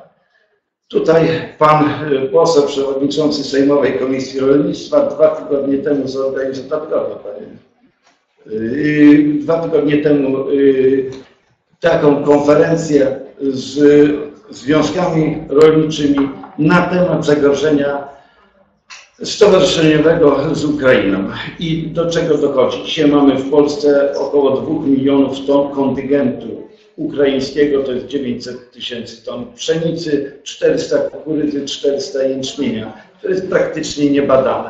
Na moje pytanie ustawicznie odrzucane za którymś razem, ile jednostek transportu, czyli, czyli wagonów, samochodów zostało odesłane ze względu na, na, na złe jakieś tam warunek fitosanitarne. Okazało się, że pan minister powiedział, że nie zna ani jednego takiego przypadku. To pytam, gdzie my jesteśmy. To, co tutaj to pan profesor i, i pani mówiła o tym, że są inne możliwości y, no, jakiejś tam stymulacji y, obrotu. Najlepiej to zna Putin, bo on wie, jak to się robi, że można albo wpuścić, albo, albo te badania fitosanitarne są dobre, albo złe. I ja bym się tutaj upatrywał dla Europy, a szczególnie dla nas, dla Polski, dla polskiego społeczeństwa większego zagrożenia. Ukraina y, dzisiaj nie ma, tam, tam jest całkowity liberalizm, czy w Kazachstanie, czy na Ukrainie. Proszę sobie pojechać do Kijowa na targi rolnicze, możecie Państwo z Chin każdej substancji aktywnej zakazanej w Europie, w świecie 20 lat temu sobie kupić. Każdą, jaką sobie Państwo zechcecie, byle była to ilość kontenerowa i nikt tego nie kontroluje. Zagrożeniem, zagrożeniem teraz Stany Zjednoczone mają już, czy, czy no i tam jeszcze Ameryka Południowa ma duże zapasy, ale mają już, już jak tam konstans. Jeśli mówimy o Ukrainie, produkuje dzisiaj około 50 milionów ton, pretenduje w ciągu kilku lat do 100 tysięcy ton. To samo jest z Rosją, Kazachstan tak samo nie ma wody. I proszę Państwa, my z tej strony się, z tych liberalnych, całkowicie liberalnych, a bardzo bliskich, Przecież do, do Ukrainy jest rzut kamieniem i linia LHS szerokotorowa, która nam dostarcza tak samo genetycznie modyfikowane, tam kukurydza y, rośnie, tak samo y, soja genetycznie modyfikowana. Ja mieszkam 70 km od granicy, przecież wiem, co tam, co tam rośnie. No to bardzo źle, no to powinniśmy No, no właśnie. sekundkę, żeby uszczelnić tego typu działania granice, a nie Ale- sprowadzać sobie jeszcze dodatkowo z No. Ameryki. Przecież wiemy, że Ukraina jest od Ameryki, więc tutaj to jest jedno Ale, ale to tak jak, trochę jak z tymi inflantami, że zdobywaliśmy inflanty, a tutaj pod rosem nam, nam olbrzymie już tysiące ton koks. Polityka raczej nie powinna polegać na tym, że machamy ręką, bo i tak już jest źle, co pan sugeruje, Nie, nie, nie, ja broń Boże nie mówię, tylko mówię, że większym zagrożeniem dla Europy, a szczególnie dla Polski jest dzisiaj, jest dzisiaj wschód niż zachód. Tym, To samo. no, Przepraszam, możliwe. tutaj chciałabym się wtrącić jako No moderatorka i Przepraszam pana bardzo. Przepraszam, przepraszam. Większym zagrożeniem niż zachód. Dobrze. Wschód daleki, czyli Rosja, czy wschód bliski, czyli Nie, nie, nie. Ja bym prosiła jednak o jakieś przestrzeganie Ros, dyskusji. Rosja, Ukraina, y, Kazachstan, dlatego że one mają bardzo duże niewykorzystane moce. Tam jest co najmniej jeszcze można o 100% zwiększyć produkcję. W Stanach się już produkcji nie da. Determinantem jest wody. Proszę Państwa, każde kilo chleba to jest 400 litrów wody. Każdy kilogram mięsa to jest około 2000 litrów wody. Jakbym Państwa spytał, ileście spożyli dzisiaj wody, i nie, nie licząc bytowych potrzeb, to byście powiedzieli, że też szklaneczkę wody. Tylko nikt nie liczy, że jak zjadł 10 y, deko mięsa, to to jest 200 litrów wody, a kilo chleba to jest 400, niestety. I to jest do, dopiero skala. Dziękuję bardzo prelegentem. Teraz chciałam zaproponować e, rundę pytań z Państwa strony. Proponuję, żeby ja trzy pytania zanotujemy. Państwo się podzielą, kto będzie chciał e, na nie odpowiadać. Bardzo proszę, żeby ta dyskusja nie przedrywowała na inne tematy. Tematem naszego spotkania jest kwestia wpływu umów handlowych i inwestycyjnych na e, kwestie promocji zrównoważonego rolnictwa i suwerenności państwa w prowadzeniu polityki rolnej. E, Dobrze, widziałam tak, jedno pytanie z Pana strony, jedno pytanie od Pana posła, czy jeszcze ktoś? E, I jeszcze pytanie od Pani i będzie następna runda pytań, ponieważ Pan już dwa razy zabrał tą stołą. Proszę poczekać do następnej kolejki, dobrze? Czyli jeszcze raz Pan, Pan poseł i Pan. Nazywam się Hans Peter, jestem socjologiem. Się wydaje najważniejszy, Proszę troszkę bliżej. Najważniejszy dla mnie przynajmniej to, co Pan powiedział, że to jest projekt, cywilizacyjny lub antycywilizacyjny. Na to po prostu w ogóle nikt nie zwraca uwagi. Zawsze podzielamy to po prostu się do albo jest przemysł metalowy, albo to, albo to, ale w sumie to zmieni nasz stosunek, jak gdyby, jak ten typ przychodzi, to zmieni nasz stosunek, jak gdyby, sy- system prawny, system tego, stosunek do państwa, e, sektor publiczny i tak dalej, i tak dalej. Woda, kolej, energia i tak dalej. Nie ma, będzie w ogóle możliwości po prostu regulować to na tym tle, na tej cywilizacji, co Europa ma i ona się w tym różni prawdopodobnie. Jestem byłem zdziwiony, że Pani właściwie y, y, przeciwko TTIP-owi y, zgłasza te same, ale tylko problem jest to, że Pani mieszka w tym kraju, czy po prostu takie i nie inne okoliczności i handlu i tak dalej są. Chciałbym czekać, jak, jak Pani to wygłosi, ile procent ludzi lub ile procent farmerów poczęło pańs, pańskiego e, stanie. Czy to jest mała grupa, czy to jest duża. Ja pochodzę z Austrii, gdzie mamy w miarę, jest- jestem rzadko dumny jak gdyby z mojego kraju, właściwie w ogóle nigdy, ale w Austrii trzeba powiedzieć, że, ta, że, że sprawy rolnictwa indywidualnego oparte o małych, o małych e, gospod- gospodarstw rolnych i z bardzo dużą i wysoką jakość produktów, to jest akceptowane chyba przez 80%, przez 80% ludności. Ja liczę na to, choć właśnie to jest silny raz, już robiliśmy z, e, z e, energii atomowej. Zbudowaliśmy e, elektrownię, która do tej pory ani jedną minutę nie chodziła. Po prostu jest kotów i można, można ją oglądać. Zwentendorf. A tutaj też liczę chyba na to, że tam chyba jest największa po prostu, największy duch anty. Prostu rzeczywiście jak dojdzie do tego, że ludzie się będzie pytał, czy chcą, czy nie, jestem prawie przekonany, że wystarczy jeden kraj europejski, który mówi, że ona nie chce nie podpisze, po prostu to wszystko tego. Więc liczę bardzo. Czy w Polsce się uda, to jest inna sprawa. To jest na razie. E, Poproszę o pytanie. Jarosław Sachajko, e, zostałem rozpoznany. Kukiz 15, Sejmowa Komisja e, Rolnictwa.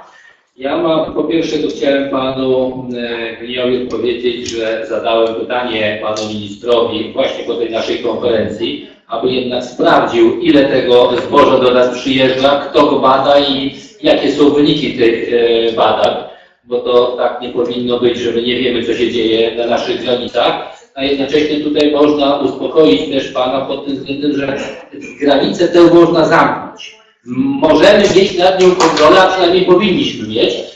E, Umowa, którą z- podpiszemy wkrótce, bo ministerstwo mówi, że do końca roku ją podpiszemy, no będzie nas obowiązywała na wiele, wiele lat. I tu mam pytanie do Pana Profesora, bo e, ministerstwo mówi, że będziemy jako mm, Polska mieli dodatni, dodatnie PKB, że właściwie w sferze rolnictwa nic nam nie zagraża. I ja tak do końca wiem, w jaki sposób to mogło być e, zbadane, bo przecież koszty energii, koszty środków produkcji, tak jak była mowa e, o tym, koszty sposobów produkcji są tak e, drastycznie nieko- nie- niekorzystne na poczet e, europejskiego rolnictwa, że ja tu w ogóle widzę to e, właśnie mm, to, o czym Pani mówiła przy Meksyku, że to jest kwestia kilku lat i rolnictwo polskie przestanie istnieć. Zresztą już mamy namiastkę przy chowie trzody chlebnej. E, W tej chwili przy chowie nakładczym, który właśnie jest oferowany przez duże korporacje, przestaje być opłacalna produkcja trzody chlebnej innymi metodami. Jak, czy może Pan zna jakieś szczegóły, jak obliczano to, że nic nam się nie stanie e, z, w rolnictwie, podpisując tę umowę? Dziękuję i bardzo proszę Panią o pytanie.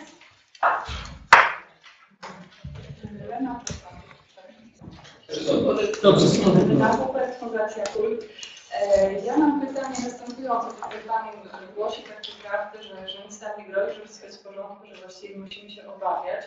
Natomiast widzimy, co się dzieje ze społeczeństwem, widzimy, jak wzrasta zachorowalność na choroby cywilizacyjne.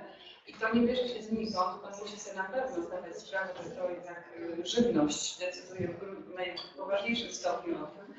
E, A zatem uspokajanie do niczego nas nie doprowadzi. Chciałabym zapytać, czy Pan zdaje sobie sprawę z tego, do czego zmierzają korporacje, które wkraczają na teren Polski, również, nie tylko na teren Polski, no, na teren w na teren całego całego świata.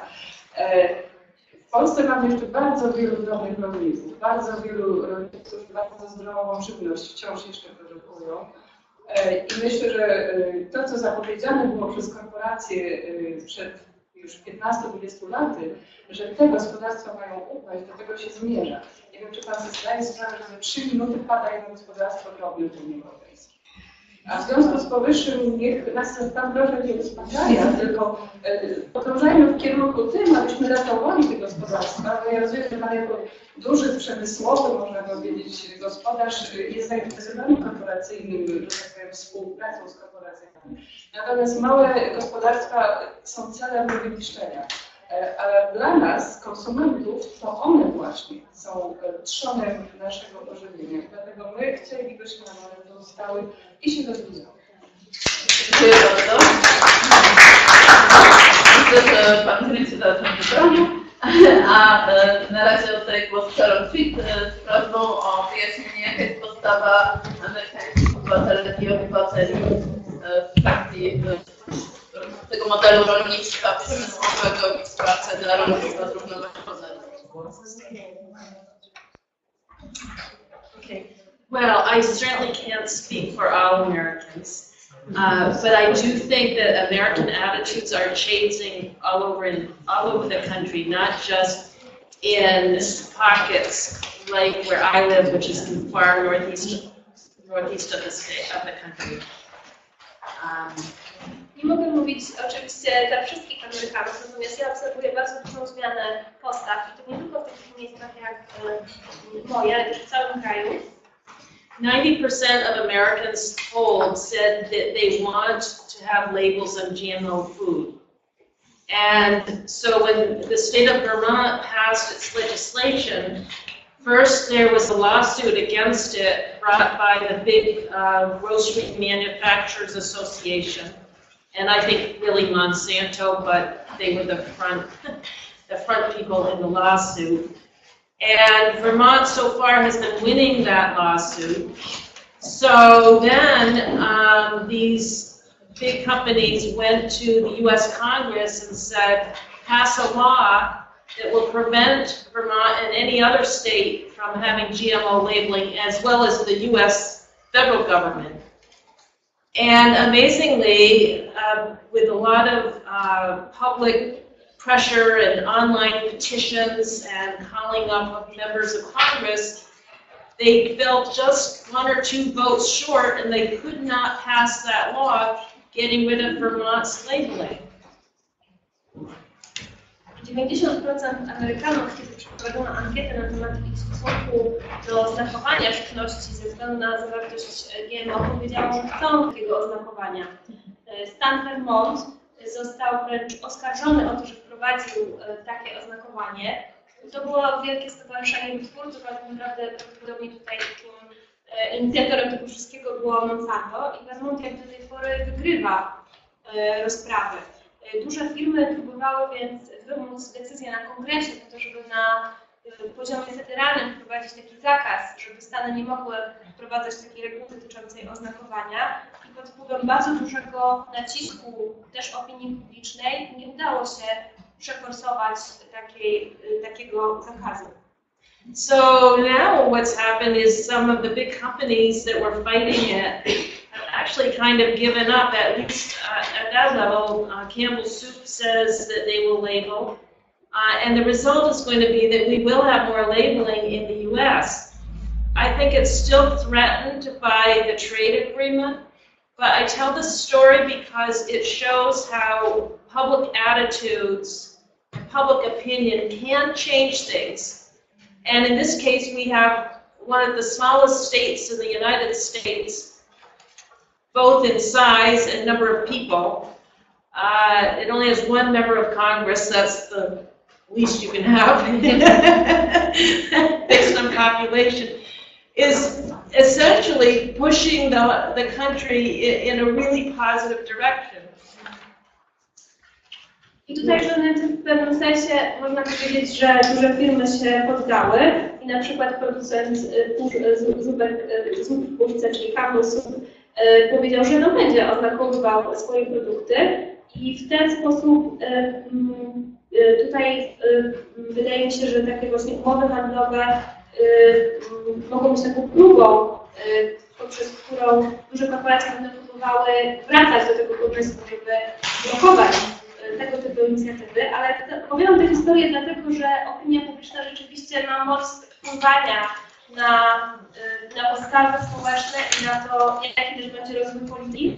Chcę jeszcze powiedzieć, że ten stan, który prowadzi tę politykę jest najmniejszy, jeżeli chodzi o wielkość i o liczbę ludności. Ma jednego członka w kongresie, czyli najmniej ile można, a jednak ten mały stan popchnął politykę całego kraju w tak dobrym kierunku.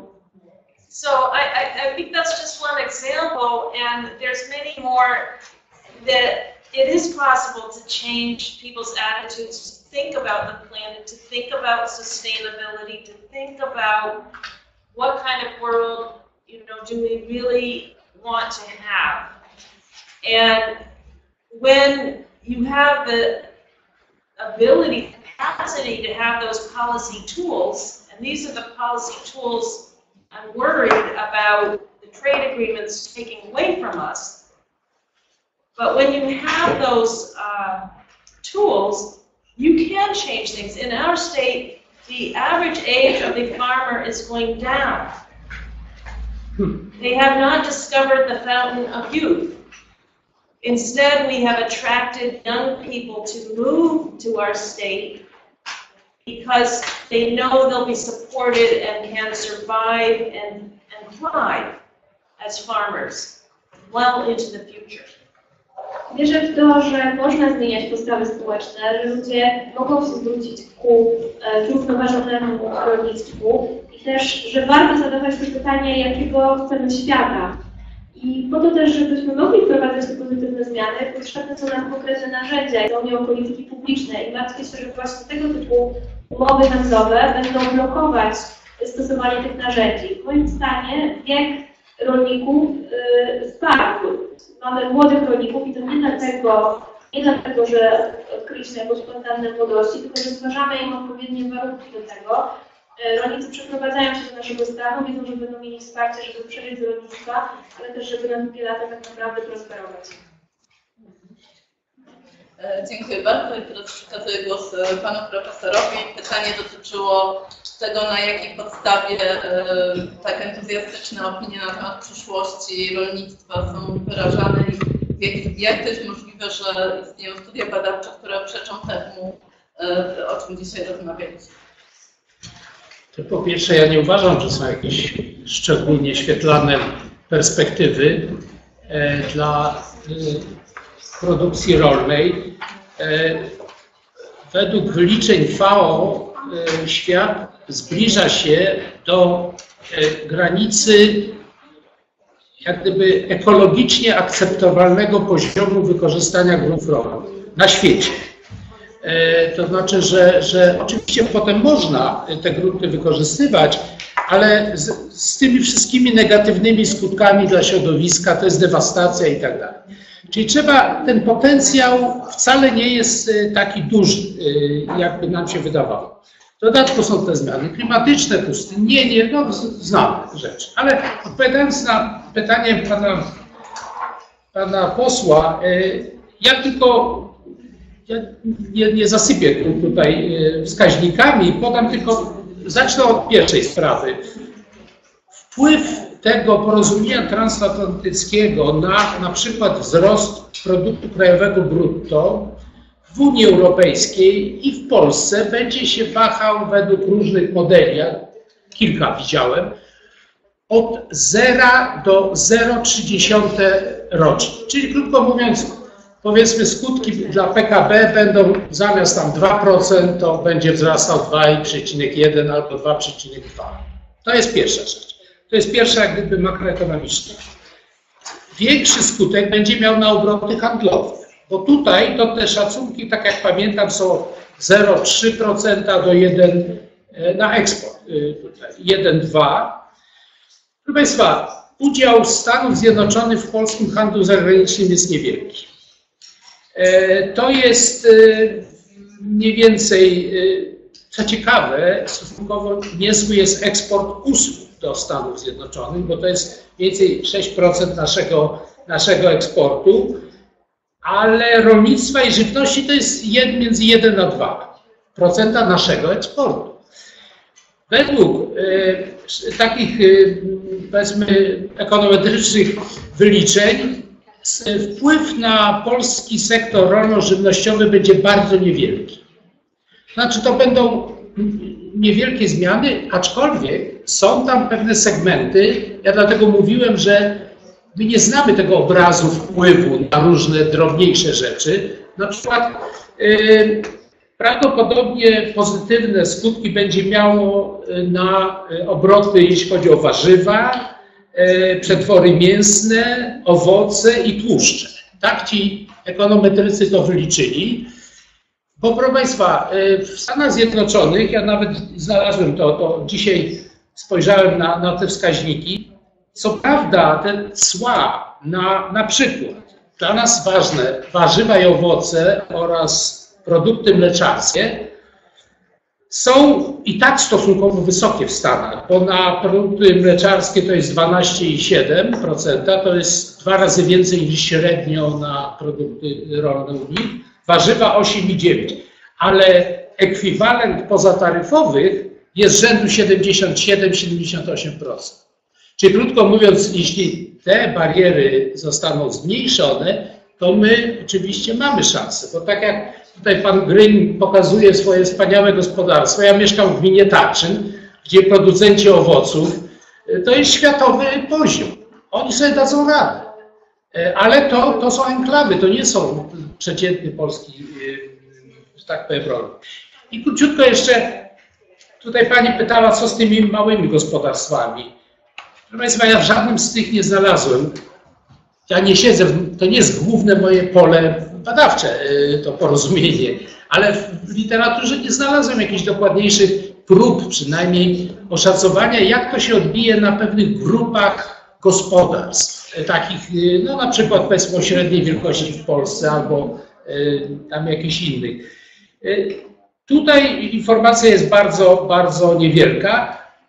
I jeszcze tutaj się zgadzam, że ja próbuję patrzeć na ten, to porozumienie jako jednak taki szeroki projekt cywilizacyjny. I tutaj pani senator wspomniała, że w Stanach Zjednoczonych to rolnictwo europejskie jest e, traktowane, nie powiem z szacunkiem, ale uważane jest za, za bardzo takie zrównoważone, za, za różnorodne, za proekologiczne i tak dalej. Wydaje mi się, że to jest część tego, co kiedyś Jeremy Rifkin, w końcu amerykański ekonomista i socjolog i politolog, napisał w swoim europejskim marzeniu. Dla niego Europa ciągle ma wielką przyszłość. Ja uważam, że europejskie rolnictwo również. Dziękuję bardzo. E, I poproszę teraz o odpowiedź pana Grynia. Pytanie dotyczyło tego, e, czy, czy nie obawia się pan tego, jak e, ta żywność produkowana przez korporacje, i której możemy się spodziewać napływu samej żywności, ale też inwestycji korporacji, jak wpłynie to na jakość żywności, a w konsekwencji też na zdrowie publiczne. E, Jeszcze tylko chciałam zaznaczyć, że po, po tej odpowiedzi mamy jeszcze chwilę, więc jeżeli ktoś z Państwa chciałby jeszcze zadać pytania, to myślę, że dwa możemy przyjąć. Dziękuję. Po pierwsze chciałbym panu doktorowi podziękować, że mi dał otuchę, że przetrwam. Y, Proszę państwa, y, proszę państwa, a, a teraz muszę udowodnić, że nie mam gardła. Proszę państwa, czy się gospodaruje na hektarze, czy na stu, czy na tysiącu, to jest stan umysłu, a nie, a nie ilość. I możemy poprawnie gospodarować lub niepoprawnie, na małym i na dużym. To nie jest, to nie jest wyznacznik. Proszę Państwa, ja rocznie mam 20-30 hektarów doświadczeń i doświadczeń w tym kierunku takim bardziej proekologicznym jak innym. I ja, ja, tak, pól doświadczalnych. To jest y, czterokrotna, czy tam już dzisiaj nie, dzisiaj już dwukrotna średniego gospodarstwa i naprawdę no, wiem o czym mówię zapraszam Panią, że Pani mówiła dotknęła moich. To nie jest tak, że się nie, że w dużym gospodarstwie nie może, i dlatego mówiłem, że Europa już stanęła na, na, bar, nad tą barierą. Już produkcja przez zwiększenie ilości chemii i innych środków nie przynosi skutków. Dzisiaj musimy się okropnie cofnąć, a zwiększymy nawet produkcję, a zwiększymy i zdrowsze produkty. Proszę Państwa, nie można mówić o gospodarce, to zostałem tak poniżej pasa i muszę oddać cios. No, no niestety, okazało się. Proszę Państwa, czy ktokolwiek zna badania na mykotoksyny w gospodarstwach ekologicznych? No ja znam. Ja znam 17 gospodarstw. Pięciokrotnie mykotoksyny wszędzie y, przekroczono. Czy znacie Państwo, ktoś zna Państwo y, suszarnię w gospodarstwie ekologicznym? Suszarnię, czyszczalnię, przecież to, to nic nie z tego. To powinno jest dobrze. Jest tylko może połowa gospodarstw, albo nawet niektóre to mają. Resztę tego nie ma. I y, mykotoksyny rozwijają się później, w późniejszym okresie. I teraz maseczka z takiej, z takiej otrąb y, na twarz działa jak botoks. I, i, i, I to nie można tak mówić, że, że duże to jest złe, małe dobre. To jest stan umysłu i wiedzy rolnika w dużym gospodarstwie o wiele lepiej y, wykształcić, przygotować technologicznie. Ja tylko stwierdzam fakty, ja tu się nie, nie, nie chcę licytować. Y, Rolnik może być bardziej światły, oczytany, dlatego że ma jego stać na postęp. Postęp to nie jest nic złego. Możemy z, z kawałka żelaza zrobić miecz, nóż lub pług lub lewić do pługa. Tylko zależy, co my z tego chcemy zrobić. Jeśli mogę się odnieść, nie krytykowałam Pana metody rady, tylko Pana podejście y, takie dosyć lekkie do tych y, bardzo poważnych spraw. Proszę Pani, najważniejsze. Pan mówi sobie po prostu tak, że i tak mamy paszę wprowadzone. Dlaczego mamy? Dlatego, że ja Pani już powiem i Państwu, dlatego, że Nie jesteśmy To- w stanie wyprodukować. Nie, nie, nie, nie, nie, nie, nie, nie. Dla, dlatego, że to jest cynizm, ograniczenie polskiego rolnictwa i mówienie, że jest B, ale jednocześnie sprowadzanie takich, jeśli mówimy, że nie możemy uprawiać, nie możemy, to także nie sprowadzajmy. Ale jeśli wykazałem 2 miliony ton soi y, z, z zachodu, z, przede wszystkim Stany czy tam obie Ameryki i, Od lat walczymy z rządami i milion ton i 2 miliony niebadanych, nie badanych, bo one są tylko powierzchnią badanych zbóż z, y, ze z wschodu. I teraz panie pośle, jedna rzecz. Mówi pan, że może granicę zamknąć. Nie możemy. To, to jest kontyngent europejski, który się wlewa przez Polskę i my nie możemy zamknąć. Jest umowa stowarzyszeniowa z Ukrainą i my, my na podstawie tej umowy musimy przyjąć. Od teorii- Nic nie prosimy, niech pan nawet no ja rozumiem, ja to rozumiem, proszę Pani, ja, ja, ja tylko, no Pani wie, ja wiem o co chodzi. Pan mówi o przekraczaniu normy, że mogę wrócić do rolnictwa, Ja-.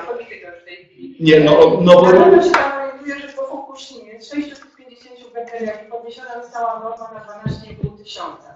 Niech mi Pan w takim razie powie, jak się ma myko skaza, że tak powiem, Polska do tego, co sprowadzamy o tak silnym żywimy Proszę sprowadzać z Japonii, o ile ja wiem. Z Japonii. Jest y, importerem, nie eksporterem. Y, Jak, o ile ja, ja się to Y, Czosnek jest z Chin. Przede wszystkim jest tak bardzo względna rzecz. I najważniejsza w tym jest wszystkim woda. Woda. Woda jest determinantem, z determinantem zdrowej żywności, bo po pierwsze służy do produkcji, a to, co nam spłynie z pól, a nie powinno, zatruwa, zatruwa dodatkowo i mieszkańców miast, i jeszcze tam Nie, bardzo Panią przepraszam, ale Proszę Pani, ja chciała żywność zabrać głos. Za, za 10 minut musimy proszę. Dobrze, przepraszam bardzo, ja bardzo Państwa tak. Tak, dlatego, że ja bardzo Państwa Ja zachęcam do tego, żeby tę dyskusję przenieść do kuluarów, natomiast ja rozumiem, że to jest bardzo ważne, natomiast na sali jest dla rąk osób chętnych do zabrania głosu.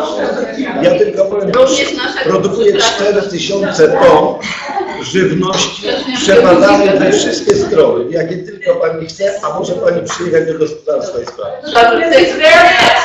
Dobrze, w tej It's very exciting, this is the most exciting debate I've przepraszam, ale been at. And I have a point to make on this issue about uh, testing food coming in from other countries. And I want to bring it back to the TTIP. I don't know what is done with Ukraine. That's that, but that's an issue. I mean, food is coming in from wherever, and it's very important that countries have the capacity to test it. And what I want to say about the TTIP is that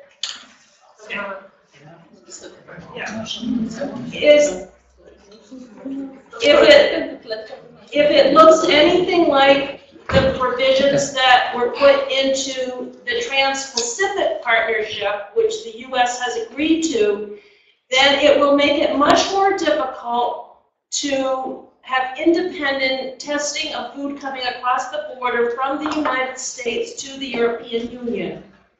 And much less likely that you'll know whether it's really and truly sanitary and safe. And there are several very detailed studies looking at the language which is now public in the TPP. So I, I suggest this is a good point, definitely a very valid point, and it relates to this trade agreement. Jest e, jedna z najbardziej ekscytujących e, dyskusji, w jakich uczestniczyłam i chcę wrócić do tej kwestii e, badania tej żywności, którą sprowadzamy, niezależnie z jakiego kraju, też jak to się ma do właśnie takich umów jak TTIP. Mm, Ważne jest, żeby właśnie państwo mogło takie rzeczy regulować, żeby to, co sprowadzamy do naszego kraju, e, było e, badane Mm, Wydaje mi się, że to, co wprowadzają te umowy handlowe, to, już, to jest pewna też taka zmiana języka czy przyzwolenia na to, żeby nie, nie wprowadzać właśnie takich obostrzeń. Także jest to też słuszna uwaga i warto, żebyśmy o tym e, pamiętali, mm, myśląc o właśnie bezpieczeństwie żywnościowym. E, Dziękuję bardzo. Zostało nam 10 minut. W tej sytuacji tak będę bardzo brutalna, może nawet niegrzeczna. Nie pozwolę Panu już zadać pytania, ponieważ Pan już uczestniczył w dyskusji, a są osoby, które jeszcze nie miały szansy. Widziałam trzy zgłaszające się z tyłu i teraz poprzez losowanie wybieram najpierw Pana, a potem przez losowanie Panią. Bardzo przepraszam Ewę, że nie dopuszczę jej do głosu. Mamy tylko 10 minut, po prostu musimy opuścić wodę. Ale zapraszam do, mam nadzieję, że będzie jeszcze chwila, żebyśmy porozmawiali w kuluarach. Niestety musimy zwolnić e, e, obsługę z Polskiego Uniwersytetu Ekonomicznego. Oddaję głos proszę. Nie. Halo, halo, halo. Dziękuję za ten przywilej zabrania głosu. Piotr Trzaskowski, Akcja Demokracja.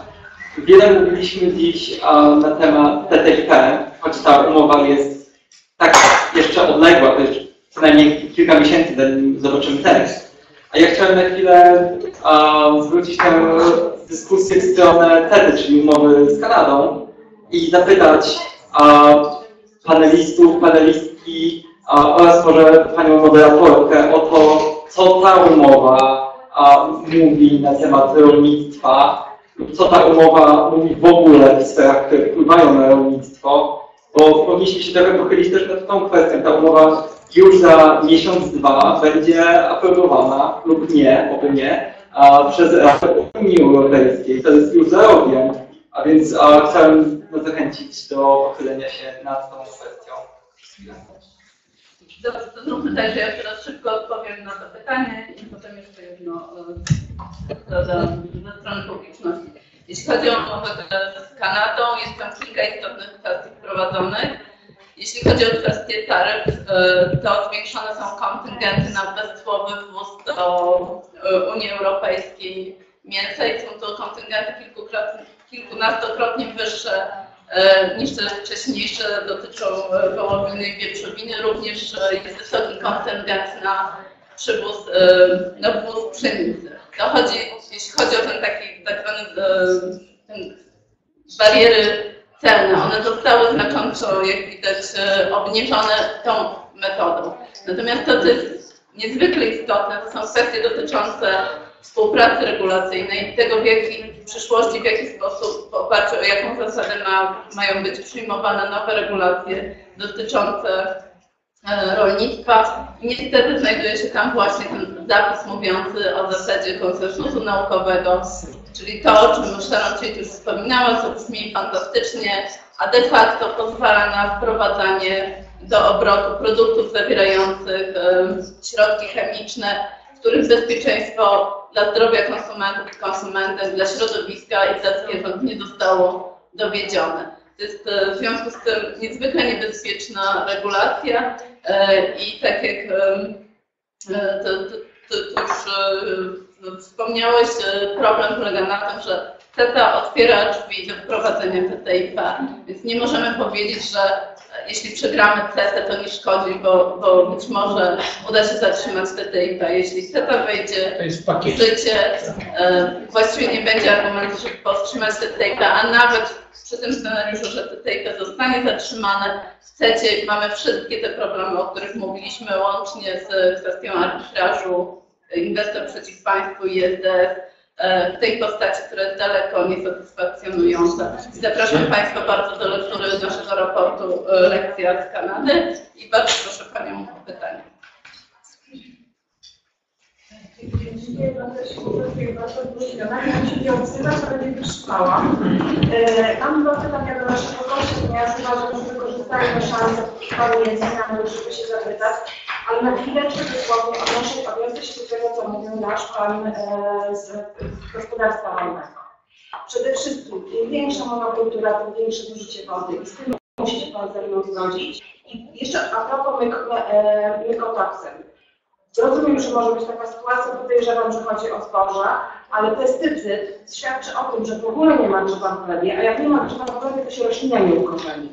Więc tutaj bądźmy ostrożni z sterowaniem pewnych wzrostów na temat tego, co dla rolnictwa jest dobre, a co nie. Natomiast już przechodząc do pytań, bo wiem, że mamy mało czasu.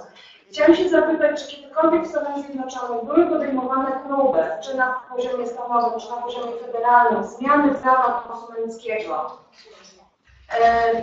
tak, żeby zanim produkt był badany, zanim czy udowodnić jego nieszkodliwość wprowadzenia na rynek, tak jak to jest w Unii Europejskiej, czy kiedykolwiek społeczeństwo amerykańskie podjęło taką próbę?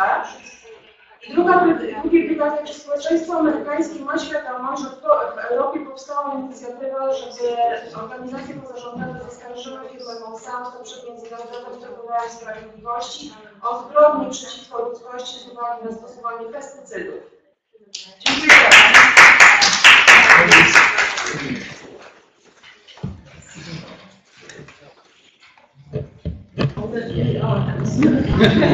Bardzo. Ładny humor, dziękuję. To jest tak na całym polu, na 700 hektarach, tak wygląda.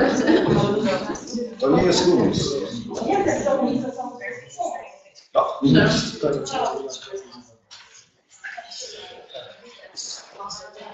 nie jest humus, tylko koprolit, proszę bardzo. Ważniejsze, czy pan jest z nami, czy przeciwko nam. Jak z nami, ja może kochany z nami. Ja nie jestem ani z nami, ani przeciwko, ja to robię. Ja to robię fizycznie. fizycznie. Bardzo Państwa Ja- proszę, to ja- naprawdę nie jest w ja to porządku robię, ja to e, robię. Ja to robię naprawdę. zgromadzony. Będzie pan z nami. Mogę Panią prosić o... Mamy naprawdę wyjątkowego gościa, który dzisiaj wieczorem wyjeżdża. Proszę Pani, Jest to unikatowa szansa, żeby usłyszeć głos ze Stanów Zjednoczonych. Obiecuję, że będziemy organizować debatę dalej. Będzie mnóstwo okazji do tej dyskusji, ale dajmy szansę e, Sharon Treat, żeby powiedziała nam coś o Stanach Zjednoczonych. Okay, first I'm just going to say that I've been in many debates, and this is the most lively one I've been in, and it's very interesting, and I appreciate how um, involved everyone is. I think it's great.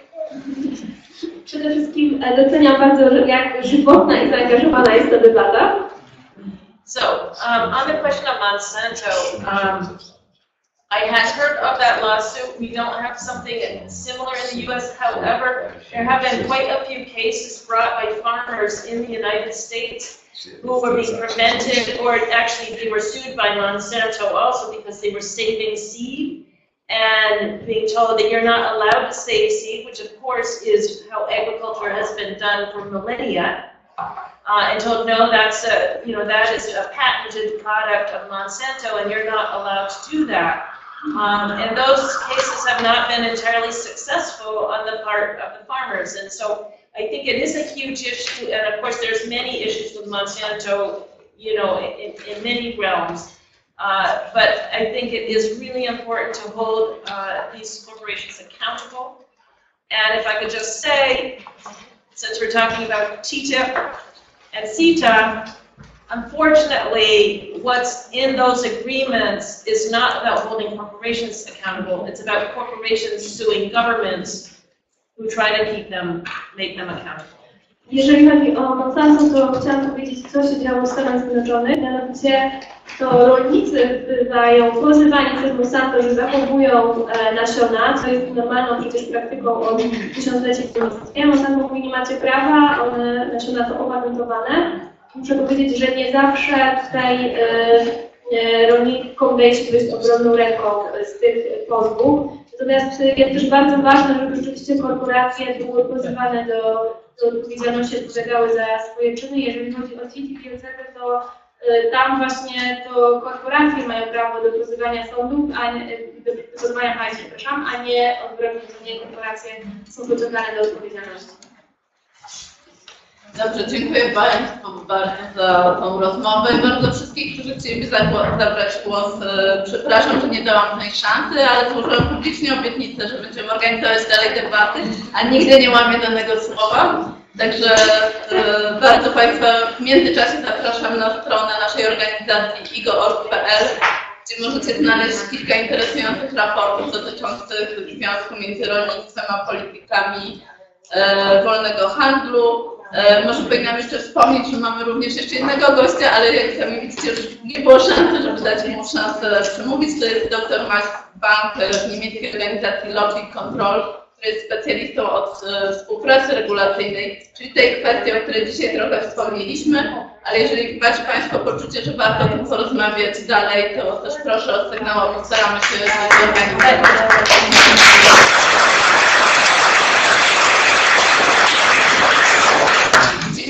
Duże treści tej debaty znajdzie się na naszej stronie. Tam. Dziękuję.